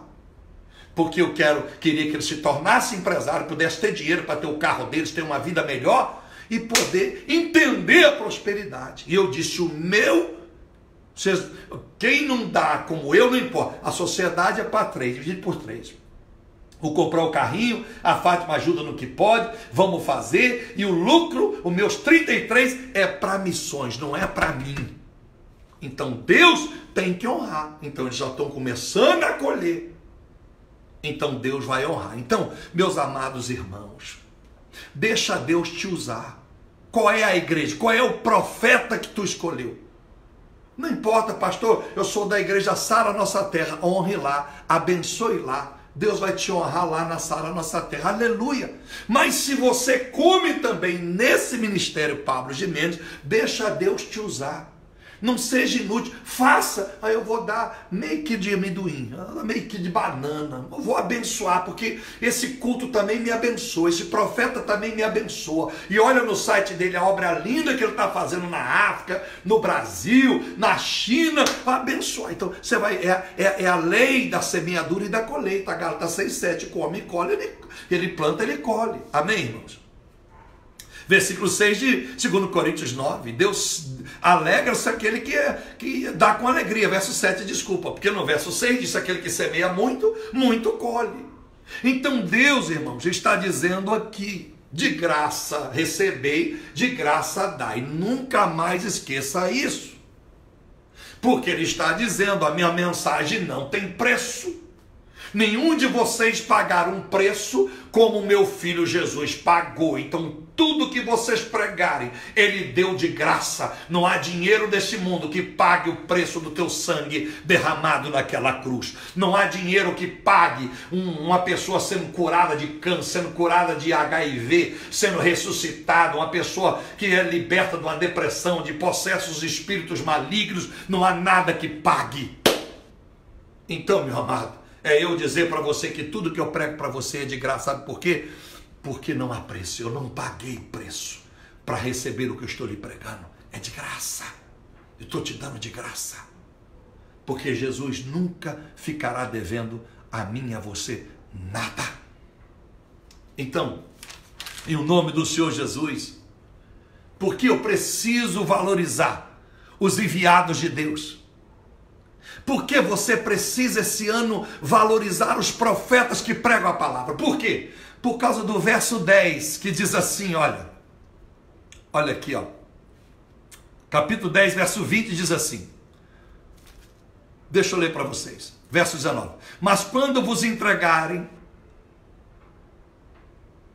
não vos dê cuidado com o que haveis de falar, porque naquela mesma hora vós sereis ministrado o que haveis de dizer, porque não sois vós quem falará, mas o do vosso Pai é que fala por vós. No mesmo capítulo. Por que eu tenho que valorizar aquilo que eu recebo dos profetas? Porque ele não está falando de si mesmo, é o Espírito Santo, é a voz de Deus através do Espírito Santo, usando os lábios daquele que prega para você. Se você não valoriza, você está desprezando a voz de Deus. Por isso é que no Êxodo 23, verso 15, Êxodo também, 34, verso 20, disse: Não vás à presença de Deus de mãos vazias. É por isso que eu li 1 Samuel, capítulo 9, verso 5 adiante. Não poderiam ir à presença do profeta Samuel, nem Saul, nem o seu servo, buscar uma palavra de mãos vazias. Se você vem ouvir esse culto e você não espera receber nada, Parabéns, venha de mãos vazias. Se você entra numa igreja e você não espera, não tem expectativa de receber nada, muito bem, vá de mãos vazias. Mas se você procura ler a Bíblia, você procura jejuar, você procura subir ao monte, você procura ir à igreja, você procura ouvir um culto como esse, porque você quer receber uma bênção de Deus, você não pode estar de mãos vazias. Você tem que abençoar. Você tem que acreditar no que está escrito. Lê lá, Êxodo 23, 15, Êxodo 34, verso 20. Por isso que o certo é todas as vezes que você vai ouvir um culto, você já tenha preparado a sua oferta, seja um real que é o que você tem, ou seja um melhor, seja um milhão, você tem que abençoar, porque hoje, meu irmão, olha, nós não podemos dar desculpa mais. Você faz um depósito no banco 24 horas, mesmo quando é feriado, você faz transferência bancária, só não dá quem não quer. Só não dá quem gosta de se esconder na falta de caráter que está incutido sobre si. E aí fazem justificativa. Nós justificamos, mas jamais nos explicamos diante de Deus. Então, você quer, a minha pergunta para você vem do Espírito Santo: você quer um 2019 abençoado? Ou você quer de novo essa mesma lenga-lenga? Você quer empurrar com a barriga 2019 igual fez com 2018? Você quer empurrar, você quer viver o pior, você quer ficar, você quer fazer do seu domingo uma sexta-feira negra, porque você sabe que na segunda as contas vai chegar. Você quer ver uma, você quer ter férias bichadas? Você quer ter os filhos estudando nas piores escolas? Você quer comprar os piores materiais? Você quer atrasar a conta dos seus filhos? Você quer continuar com o seu carro com IPVA atrasado? Você quer continuar com o seu carro velho todo empipinado? Você quer continuar com o seu nome sujo, amarrado, que você não pode ter nada na vida? Ou você quer mudar essa história? Se você quer mudar essa história, ouça o que o Espírito Santo está dizendo à sua vida. Apocalipse 2,7. Quem tem ouvidos, ouça o que o Espírito Santo fala à igreja. Aleluia, aleluia, irmãos. Aleluia. Você só não sai daqui crente se não quiser que até o Satanás quer que você seja, depois de uma mensagem dessa, até o Satanás, pelo amor de Deus, eu quero me livrar dessa pessoa, porque ele tem medo, não é de quem diz que vai à igreja, é de quem verdadeiramente é cristão. Porque se você é verdadeiramente é cristão, Satanás não vai mais mexer com você. Ele pode até tentar, mas assim vai cumprir Deuteronômio 28, 7. Por um caminho ele vem, por sete fugirá de vós. Louvado seja Deus. Então, meu irmão, no capítulo 10, e minha irmã, do Mateus 10 ainda, verso 32 e 33, ele disse: Aquele que me negar diante dos homens, eu negarei diante do Pai. Aquele que me confessar diante dos homens, eu confessarei diante do Pai. O mesmo texto de graça recebei, de graça dá. Comecei no verso 5, já estou no verso 32 e 33. O que, que quer dizer isso? Porque Jesus está dizendo para eles: olha, se não receberem vocês com dignidade, sacudir o pó. Vão perder a oportunidade de receber a mensagem, de ser abençoados. O que quer dizer Jesus? Quer dizer que eles não estão me honrando diante de homens. Não, não entendi. Aquele que me negar diante de homens, eu, eu negarei diante do meu Pai. Se você não honra a Deus diante de mim, sou homem. É como se Deus me enviasse a pregar para você, aquele que me negar diante dos homens. Eu estou pregando, mas você nega, porque você não crê que Deus está me usando, ou ainda que crê que Deus está me usando, eu gostei, mas eu falou muito de dinheiro, eu não gostei. Então você está negando Deus diante dos homens. Se você nega Deus diante dos homens, os seus profetas, ele te negará diante de Deus. Entendeu como é que fica simples? É simples para você entender e dizer, agora eu entendi, pastor. Mas já tem centenas de pessoas que sempre disseram para mim, agora eu entendi, pastor, nunca ninguém me ensinou. E aí, o que está fazendo aqui para frente? Aí a pessoa continua infiel. E aí ela vive essa utopia. Ela fica dizendo para os outros que Jesus é bom. Ah, você devia ser crente, você tem que ser crente. Aí olha para a vida da pessoa, pô, mas ser crente igual você é, eu prefiro ficar como eu já estou. Sua vida não muda. Então, meu irmão, vamos reconhecer as mensagens de Deus, vamos reconhecer os, os profetas de Deus. Vamos reconhecer, se você está numa igreja que prega a palavra, reconheça a honra lá. Hebreus 7,5, que a Bíblia diz, pastor, mas por que, que eu tenho que dar dinheiro ao homem? Eu, eu dou para as pessoas, porque a Bíblia disse em Hebreus 7,5 que os chamados a sacerdote e a levita pelo Senhor têm o direito de tomar o dízimo e a oferta do povo. Está escrito na sua Bíblia, Hebreus capítulo 7, versículo de número 5. Então tá lá escritado, né? Ah, pastor, Jesus nunca falou de dízimo no Novo Testamento. Opa, então deixa eu aproveitar. Mateus 23, verso 23. Disse Jesus: Ó fariseus e escribas, vós dás o dízimo de tudo. De, como é que é? Vós dás o dízimo de tudo. Opa, dava o dízimo de tudo, os fariseus. Do coinho, da hortelã, do endro mas falta a segunda parte: a misericórdia, a fé, o amor, a bondade. Façai essas coisas, continue dando dízimo. Façai essas coisas, sem esquecer as demais. Então Jesus nunca falou de dízimo. Olha como é que ficou fácil para você entender. Mateus 23, 23. Lê lá. Você não consegue decifrar um iPhone, um smartphone, um Android, fuça daqui, fuça dali, parará, pará, papá. Hã? Você não vai conseguir decifrar Mateus 23, 23? Só se você não quiser, ué. mas que está escrito, tá. Então Jesus escreveu lá, meus amados irmãos. Está escrito, dito por ele. Aliás, toda a Bíblia foi dita por ele, mas tem gente que ah, eu não tem nenhum texto falando que ele disse, está aqui Paulo disse, que Moisés disse, então eu estou lhe dando esse, poderia te dar outros. E um dos livros que vão ser lançados este ano é sobre finanças. Um dos sete livros é Finanças.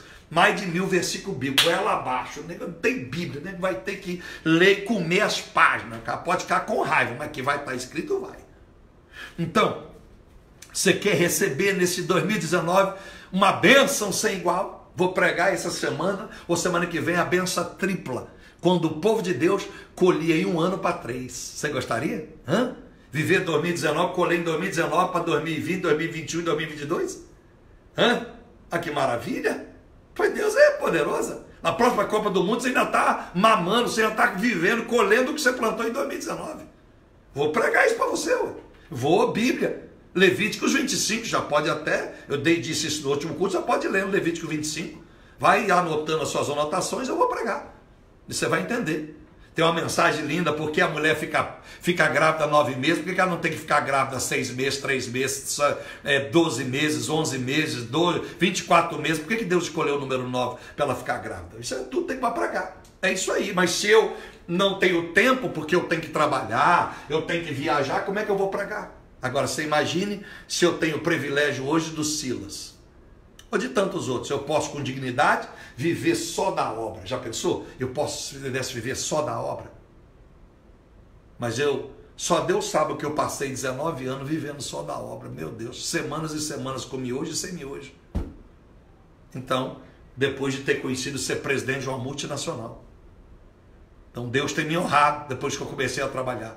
Mas confesso aos irmãos que eu preferia ser desta forma abençoado e muito mais, dedicando 24 horas ao Evangelho. Poder pregar de manhã, à tarde e à noite poder fazer seminários bíblicos três, quatro dias. Mas eu tenho que cuidar das minhas obrigações, porque eu não posso ser gigolô da empresa que confiou na minha consultoria, na minha, no meu trabalho, na área comercial da empresa delas. Mas enfim. Então, meus amados irmãos, já estou terminando. 9h37. Eu disse para você que meus cultos é duas horas. Culto de ensino meu é duas horas. Se tivesse louvor, cantoria, faia, aí durava mais de cinco. Então eu. São duas horas poderosas. Que você pode, esse culto fica gravado, você pode ouvir, você pode dar pausa, assistir de novo, chamar um pastor, uma pastora, chamar os apóstolos, ressuscitar profeta e ver. Esse cara pregou a verdade, é Bíblia aí que o senhor pregou? Consultar a internet, com o Google, ficar no Google, aí falou um negócio aí de hebraico, vamos ver lá. Então, vai ficar gravado aí para você. Então, eu quero que você creia que se você recebe essa mensagem hoje, entende definitivamente a honra, você sairá muito abençoado. Já sai abençoado nesse dia 2 de janeiro. Vai sair daqui cheio da graça. Quando nós citamos o exemplo do servo de Saul, Samuel não pediu nada. Se você continuar lendo o texto de 1 Samuel 9, ele não pede nada. Ele simplesmente recebe. Você vai ver lá. Ele recebe o que Saul tem para dar para ele o servo. Por que, que não precisa dizer, pastor? Ah, porque já estava escrito na lei. Já estava escrito na lei. Sabe, meus amados irmãos, uma coisa triste, Neemias capítulo 12, verso 44. A Bíblia diz: Existe dois textos em Neemias que contrapõem. Neemias 13, 10 e Neemias 12, 44. No 12, 44, Neemias escreve que as pessoas estavam trazendo as suas ofertas alçadas, ofertas alçadas, lucro sobre o que estavam ganhando. Os dízimos e as primícias, o melhor do que tinha as primícias.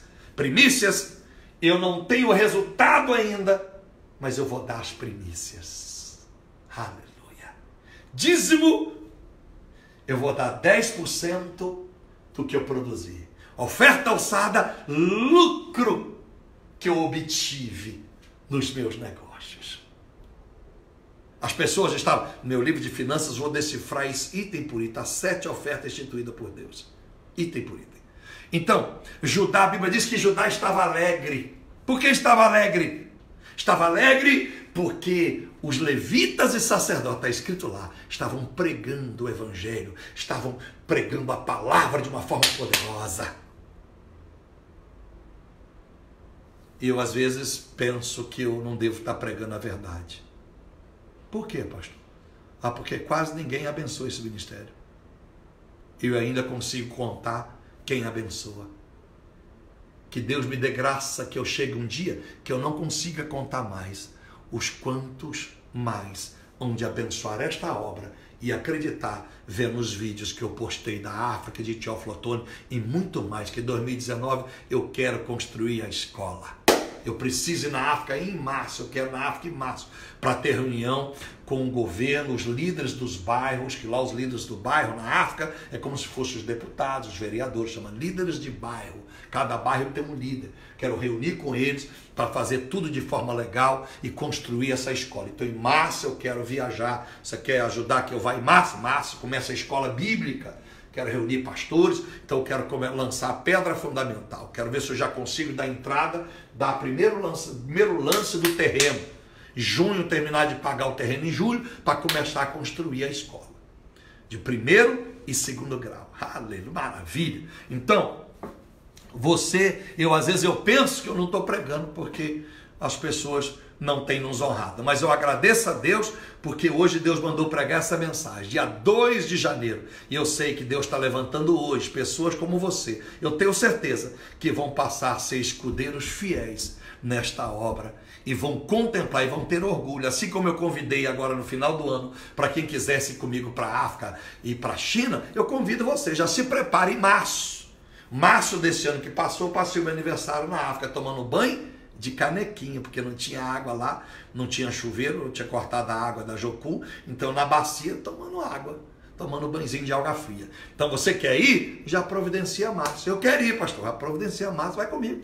Vamos para a África. Nome de Jesus, você benção. Quantos dias? Vamos passar lá, vamos passar lá sete dias, oito noites e sete exatamente, oito noites, sete dias. A senhora pode ir, o senhor pode ir, pode quem quiser ir. Prepare para a segunda quinzena de março nós irmos para a África e você vai participar de tudo, vai ver tudo. Quanto custa uma passagem? Se você comprar com antecedência, pode pagar 10 vezes o cartão na CVC, vai comprar e pagar aí, vai gastar aí 1.600 dólares talvez, tá bom? Louvado seja Deus. Então, olha, quando você não honra, a Bíblia disse lá em Neemias 13,10 que eu falei o contraste dessas duas palavras, no mesmo Neemias ele escreve no verso 10 do capítulo 13 que os levitas estavam fugindo, estavam indo embora, não estavam fazendo mais a obra de Deus. Por quê, pastor? Porque eles não estavam recebendo as suas porções. A Bíblia diz que eles estavam indo embora, porque as pessoas não estavam honrando. É por isso que o pastor Pablo teve que, depois, ao completar quase 19 anos, deixar o evangelho, dividir o tempo do evangelho com o tempo do trabalho. Eu fiz igual está em Neemias 13, 10. Porque as pessoas não estavam me honrando. E eu tinha duas: uma, passar fome e desonrar o nome de Deus, ou fugir e procurar aonde estavam me dando abrigo. Por isso, meus amados irmãos, em Números 18, verso 20 a 27, diz que aqueles que prestam serviço a Deus, aqueles que prestam a pregar a palavra, que se dispõe a pregar a palavra, diz lá em Números 18, verso 20 a 27, deveria receber a porção do povo. Está escrito na sua Bíblia, você sabia? Em Juízes 17, verso 7 a 10, diz que um jovem levita de Belém de Judá aceitou ser idólatra na terra de, de Mica porque faltava prosperidade, não tinha dinheiro, não davam mais a ele a veste de sacerdote e faltava o sustento para ele. Juízes 17, versos 7 a 10. Eu sempre dou a passagem bíblica. Um jovem estava deixando o seu ministério porque o povo não honrava mais ele. Graças a Deus que eu ainda tenho juízo. Não me tornei idólatra, não me vendi para sistema nenhum, e aonde eu prego, eu prego 100% a verdade. Doa a quem doer. Então termino essa última paginazinha e ora por sua vida. Para você começar um novo tempo com o Senhor. Mateus 10, 41, 42. Se você recebe o profeta na qualidade de profeta, você recebe o galardão do profeta. O que, que é o galardão do profeta? É a paga de Deus através do profeta para a sua vida que honrou o profeta. É simples. Você recebe o profeta, dá um copo de água fria, verso 42, para o profeta, que quer dizer o refrigério, né? Um copo de água fria não mata a fome nem sustenta ninguém. Aquilo é uma simbologia, uma metáfora de Cristo. Nas entrelinhas. Então, aquele que trouxer um refrigério, que reconhecer, trouxer, né? Por isso que ele não levava duas túnicas, nem sandália, nem o cajado para descansar, porque aonde ele entrasse, teriam que prover para ele o sustento, a sandália, a túnica, tá suja, prover, lavar a roupinha, deu uma ajudar ele. O profeta com a mesma roupa desde ontem, gente. Uma ajudar ele, tá precisando lavar roupa. O profeta tem roupa para lavar, ele leva para lavanderia. Dando um exemplo estúpido para você entender. Cuidar dos homens de Deus. Todo mundo quer procurar o homem de Deus para receber cura, para receber uma palavra de profecia, para receber uma mensagem. Mas quando o profeta bate na porta para pedir uma ajuda, o profeta aí, ó, só fica pensando no dinheiro aí, ó. Aí já vem aí mais um devorador. Nem é assim que as pessoas falam. Não sei se é o seu caso. Então, quer receber a benção de profeta? Lucas 8, verso 1 ou 3. Aquelas mulheres serviam a Jesus com seus bens. Está escrito, Lucas 8, 1 ou 3. Por quê? Está lá escrito. Porque elas foram libertas de demônios. Jesus as abençoou. A gente só dá quando reconhece. Eu sei que eu não posso cobrar de você ou de alguém que seja fiel a esse ministério se você acredita que nunca recebeu nada de mim. Então eu também acredito que você não deve dar nada para mim, para esse ministério. Mas se você acredita que eu tenho sido bênção na sua vida, que essa mensagem começou a ser bênção na sua vida já nesse primeiro dia útil desse ano, então vale a pena que você seja fiel e você possa dizer a todos quem quer que seja. Sabe por que eu sou fiel no ministério Tabernáculo da Trindade?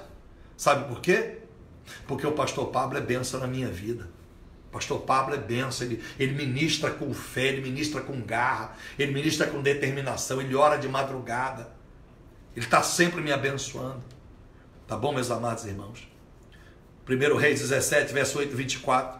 Elias e a viúva. Lembra da viúva de Serepta? Lembra? Desceu três anos e meio, lá sem chuva, no meio de Israel povo morrendo de sede, os gados, os animais morrendo. E ele sai da onde ele estava três anos alimentado por um corvo, pão e carne, lembra da história? 1 Reis 17, 8 a 24. E Deus manda ele descer porque há uma mulher que vai abençoá-lo. Ele chega na casa daquela mulher, viúva de Serepta, não tinha marido, só tinha um filho. Ela só tinha um pouco de farinha e azeite da botija. Ele disse: Faça um bolo para mim. E ela fez, imagine, ele visitar a sua casa, visitar a sua casa, você só tem um pedaço de carne, um pouquinho de feijão, você não tem mais comida e você está a ponto de morrer, você sabe que a sua filha ou seu filho vai morrer porque vocês estão com fome, vocês estão na Etiópia, no meio de uma fome. E eu chegar lá e dizer, nossa, o que é que tem aí? Ah, nós temos aqui, mas é, nós vamos só comer esse pedacinho já vamos morrer daqui a pouco. Eu disse, não, eu não quero saber se vocês vão morrer, não. Bota aqui para mim comer. Ela deu para Elias comer. E a Bíblia diz que nunca mais faltou farinha e azeite na vasilha daquela mulher. E mais na frente, o filho daquela mesma mulher morre. Você vai ver no texto. E agora Elias vai lá e ora e o menino ressuscita. Olha a benção, porque honrou o profeta. De graça recebei, de graça dá. Qual, qual pre... Tem algum preço para ressuscitar o seu filho? Se o seu filho tivesse morto, minha senhora, agora.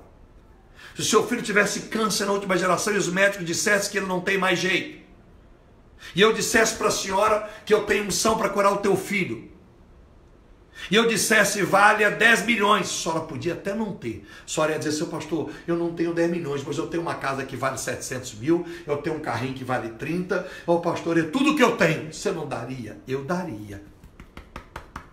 Se no seu lugar eu tivesse uma filha com câncer terminal e eu tivesse certeza que alguém que orasse por ela, ela ia ser curada então não tem preço. Essa viúva tem preço ressuscitar o filho dela. tem preço. Nunca mais ter faltado pão na casa dela. Então, de graça receber. Porque não tem preço, a bênção é maior do que o que você imagina receber. Você entendeu hoje? Entendeu daqui para frente? Cuidado para não ficar criticando o pastor. Deixa pastor brigar com pastor. Não fica falando dos sinos do Edir Macedo. Fica chutando pela boca e não que você fica trazendo maldição para a tua vida. Cuidado, cuidado. Deixa pastor te degladiar, mas você não. Não faça isso, que tu vá para o pau. Tu vai amarrar a tua vida. Não faça isso. Amém? Lembra de 2 Reis, capítulo 4, 8 a 37, Eliseu? E aquela mulher rica, não tinha filhos. Ela deu um quartinho para ele, Geazi, uma botija de água, uma cama, uma mesa, você lembra? E o que, que aconteceu? Ela engravidou, ela não podia ter filho, já estava velha, engravidou. E o filho também morreu, a sunamita. Lembra? E aí Eliseu vai lá, ressuscita o filho. Tem preço. Quanta coisa Deus quer ressuscitar na tua vida em 2019. Quanta coisa já morreu, você já esqueceu de sonhos. Quantos projetos seus você já deixou embora.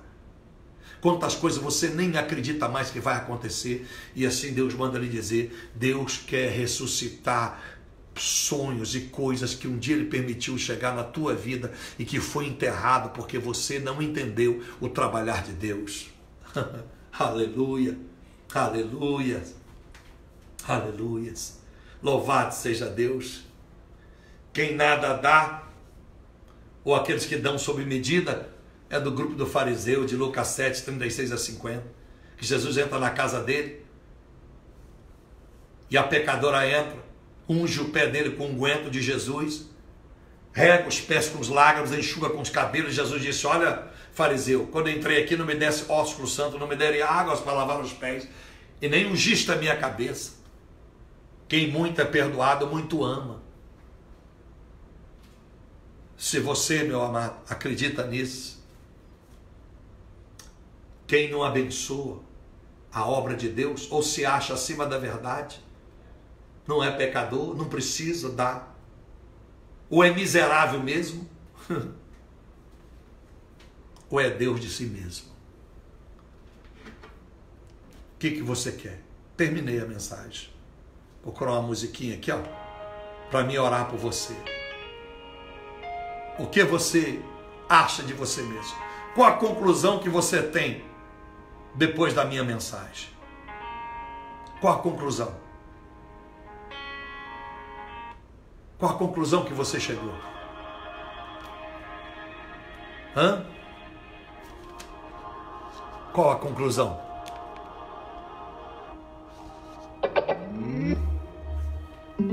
Quero abençoar você. Quero orar por sua vida. 21 e 53. Obrigado a vocês que começaram e terminaram comigo. Obrigado por ter valorizado essa mensagem, por ter valorizado aquilo que Deus compartilhou comigo. Meus esboços, esboçozinho. Obrigado a você que entendeu. Bíblia revisada, Thompson de mais quase 30 anos. e a King James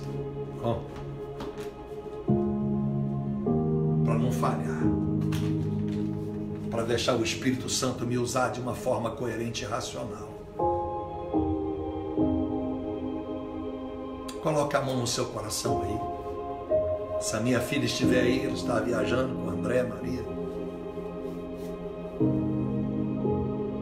Que 2019 seja um ano de fidelidade para todos nós que 2019 seja um ano de semeadura. Você na sua igreja, em ministérios como esse, assim como esse ano, eu quero dobrar a minha honra a Benihim. Talvez eu nunca sente a mesa do Benihim, mas ele me proporcionou da mesa dele, muitas das vezes sem me conhecer. Como assim, pastor? as mensagens lindas que começou no final da década de 80. As mensagens do Espírito Santo. esse ano eu quero honrar Benin. Mais. Esse ano eu quero honrar o Rabino. Mais. Que está trazendo os judeus de todo lugar do mundo de volta para Israel e construindo aquilo que chama de minha casa e minha vida. Esse, esse judeu está construindo há anos, há mais de 10 anos em Israel nas mediações para essas famílias, os velhinhos que estavam jogados na China, na Etiópia. Que esse seja o ano da nossa fidelidade. Esse ano quero ser fiel, quero abençoar a igreja que pertenço ainda à Assembleia de Deus, Pastor Zé na pessoa dele, que é o presidente da convenção, que eu participo, abençoar. Eu disse algo que vou dizer aqui. Eu não mando recado no culto da segunda-feira, hoje é quarta, eu trouxe uma lembrança, um mapa que os artesãos fizeram de madeira da Afra que me deram de lembrança. Toda a comissão da Jucu. Trabalho artesanal, aqueles pobres que fazem. Eu trouxe, Deus falou comigo: entrega nas mãos, pastor Samuel, dê para ele. E aí o vice disse para mim, pastor Pablo, deixa eu lhe dizer uma coisa. Quando eu avisei o presidente que você havia chegado quinta-feira veio e ministrou aqui, a alegria do nosso presidente foi algo irradiante. Estou dizendo isso para você, ele disse, olha, e eu conheço ele há mais de 40 anos, pastor Pablo. Raramente eu sei, eu olho para o presidente, eu já sei o que ele está pensando. Eu olho para ele, eu sei o que ele está querendo. Olha que lindo. E ele disse, pastor, quando fala no teu nome, a alegria dele é grande. A gente, a gente eu noto uma satisfação. Eu agradeço a Deus porque eu não sou nada. Será por que será? pela cor dos meus olhos, a L'Oreal que passa na minha cabeça, algo que só os espirituais sabem. Eu respeito o pastor Zamento. E o pastor Laerte comunhou comigo isso, pastor. Ele te ama muito. Ele te admira. E o pastor Laerte, na quinta-feira, disse, pastor Pablo, eu te admiro e te respeito muito. Enquanto alguns ficam preocupados com a mensagem que eu preguei. Esse cara tem vida curta aqui na Assembleia, debate demais. Ele... Hello. Deus sabe o que faz. Que esse seja o ano da nossa fidelidade. Porque melhor do que agradar o meu presidente, eu agradar o Senhor Jesus. Por isso eu prego a verdade. Porque quem gosta da verdade vai ver em mim o Espírito Santo. Então eu quero que você coloque a mão no seu coração. Que seja o melhor ano das suas ofertas, melhor ano dos seus dízimos. Vou continuar pregando mensagens como essa, a mensagem da benção tripla. Talvez não seja no próximo culto de domingo. Domingo eu quero fazer o culto sempre às 17 horas, tá bom? A Lília está aí, quartas 20 horas e domingo às 17, porque aí eu não atrapalho ou as, quando for 16 e 30 eu aviso pelo Face. Então você fica sempre atento aí. Tá bom? Porque aí eu não, eu não atrapalho alguma agenda que eu tenha que está ministrando. Então esse ano eu tenho muitos compromissos, mas aonde quer que eu esteja no hotel, eu vou levar meu celular, lógico, levo meu tripézinho, boto lá na mesinha, na escrivaninha do hotel e ministro essa mensagem para todas as vidas que recebem e acreditam no meu chamado profético. Quero orar quebrando toda a maldição desta vida da sua, dessa sua jornada. Quem sabe muitas das vezes você sonegou seu dízimo, a sua oferta, nunca entendeu. Você recebe mensagens como essa, mas é incapaz de fazer um depósito, de abençoar, porque você fica pensando no carro que eu dirijo, no relógio que eu uso, aonde eu vou, mas o senhor não ganha bem. Ninguém é tão rico que não possa receber, ninguém é tão pobre que não possa dar. Deus é poderoso e continua recebendo dízimo e oferta, colocando na mão dos seus sacerdotes e profetas para administrar. Então, me ajuda a ser crente e eu te ajudarei também a você a ser fiel e ser crente. Senhor, meu Deus e meu Pai, chegamos mais ao fim deste culto, deste terno desta mensagem. Mais uma oportunidade que tivemos de comunhar com os teus filhos a mensagem genuína do Senhor. De graça dai, de graça recebei, de graça dai. Mateus 18, aprendemos muito, Pai, com todos esses versículos mencionados, com a passagem de 1 Samuel 9, 5 adiante, de Saul, servo, e Samuel, também o profeta. Aprendemos, meu Deus, a regra básica da bênção. Aprendemos, meu Deus, sem nenhum charlatanismo, sem nenhum exagero, sem nenhuma falácia, mentira, a verdade do Evangelho com relação às finanças. Abençoe, meu Deus, para a glória do teu santo nome, esse ministério. Abençoe a Assembleia de Deus aonde eu participo. Abençoe para José Wellington que lá, meu Deus, este ano haja pregadores que vivem o que pregam e que possam pregar aquilo que o povo precisa viver.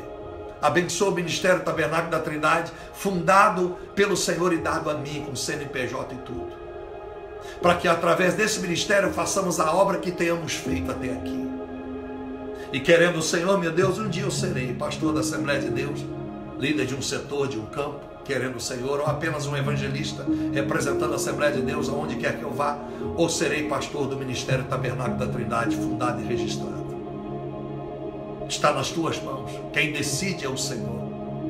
Eu não me escondo atrás de uma carteira, de uma credencial. A porta que entro é a porta que sairei. A porta do Senhor. Quem abre é o Senhor, quem fecha é o Senhor. Todos aqueles que comigo estão arrependidos do seu pecado estão arrependidos das suas infidelidades, estão arrependidos das vezes que fecharam as mãos, que honraram mais os filhos, as filhas, os genros, as noras, os pais, as mães, a esposa e o esposo do que o Senhor receba se estão de verdade se arrependendo agora. Que preocuparam mais com as férias de janeiro do que com o pão na mesa do necessitado no mês de dezembro. Preocuparam mais com as suas ceias familiares, com seus presentes, do que com tantos levitas como o jovem de Belém da Judéia, que fugiu do seu ofício e foi ser empregado de um pagão mica, porque faltava para ele as vestes sacerdotal, o sustento e a provisão.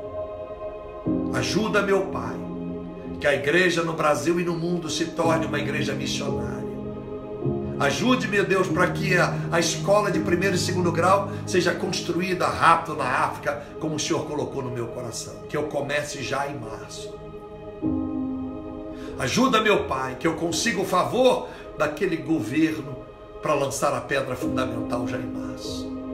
Ajuda para que nós consigamos pagar o salário dos professores que vão dar aula para aquelas crianças. Ajuda, meu Deus, que consigamos montar a escolinha de futebol, pagando o salário de alguém, dos atletas de Cristo, que estão aqui procurando uma oportunidade de salário e de fazer algo para o Senhor. Ajude, meu Deus, que eu consiga alastrar o Evangelho na China, mesmo diante de tanta perseguição, que a minha condição financeira e a minha unção me ajude a patrocinar e a sustentar missionários nativos. Ajude, meu Deus, a continuar ajudando a dona Chica lá em Teoflotone para terminar aquela creche para mais 160 crianças, completando 450, se alimentando de segunda a sexta naquela creche. Ajude-me a construir orfanatos nos lugares pobres do Brasil e do mundo. Me ajude a levantar asilos para os velhos abandonados pelos filhos e pela sociedade. Confia nas minhas mãos e na mão daqueles que estão me ouvindo agora o melhor para ofertarmos na sua obra. Coloca sobre mim lisura, transparência, honestidade e integridade, para que eu não seja um ladrão, usurpador daquilo que não é meu. Ajude, meu Senhor, coloque à minha volta pessoas que eu possa confiar, compartilhar as glórias almejadas desse ministério também as lágrimas que correm por esse ministério. Em nome do Senhor Jesus, que neste dia 2 de janeiro de 2019 venhamos a começar um novo tempo, pautado e firmado na nossa fiel semeadura, semeando com justiça, semeando com mãos limpas. Aleluia, Pai. Aleluia. Muito obrigado. Pai, Filho e Espírito Santo. Amém. E graças a Deus. Obrigado pela sua vida. 10 e 5 da noite, 2 horas e 5 minutos, 2 horas, né? Que começamos, era 8 e 6, 2 horas exato de culto, de palavra, de reflexão. Tenho certeza que você foi muito abençoado, porque eu fui. Repassa essa mensagem para os seus amigos na igreja, seu pastor, sua pastora, repassa essa mensagem. Tá bom? Seja fiel, conte conosco e ajude esse ministério, aonde eu, pastor Pablo Gimenez, estou à frente para que eu possa realizar grandes coisas e amanhã estaremos, estejamos juntos agradecendo a Deus pelo nosso programa na televisão. Beijo no coração. Até a próxima oportunidade.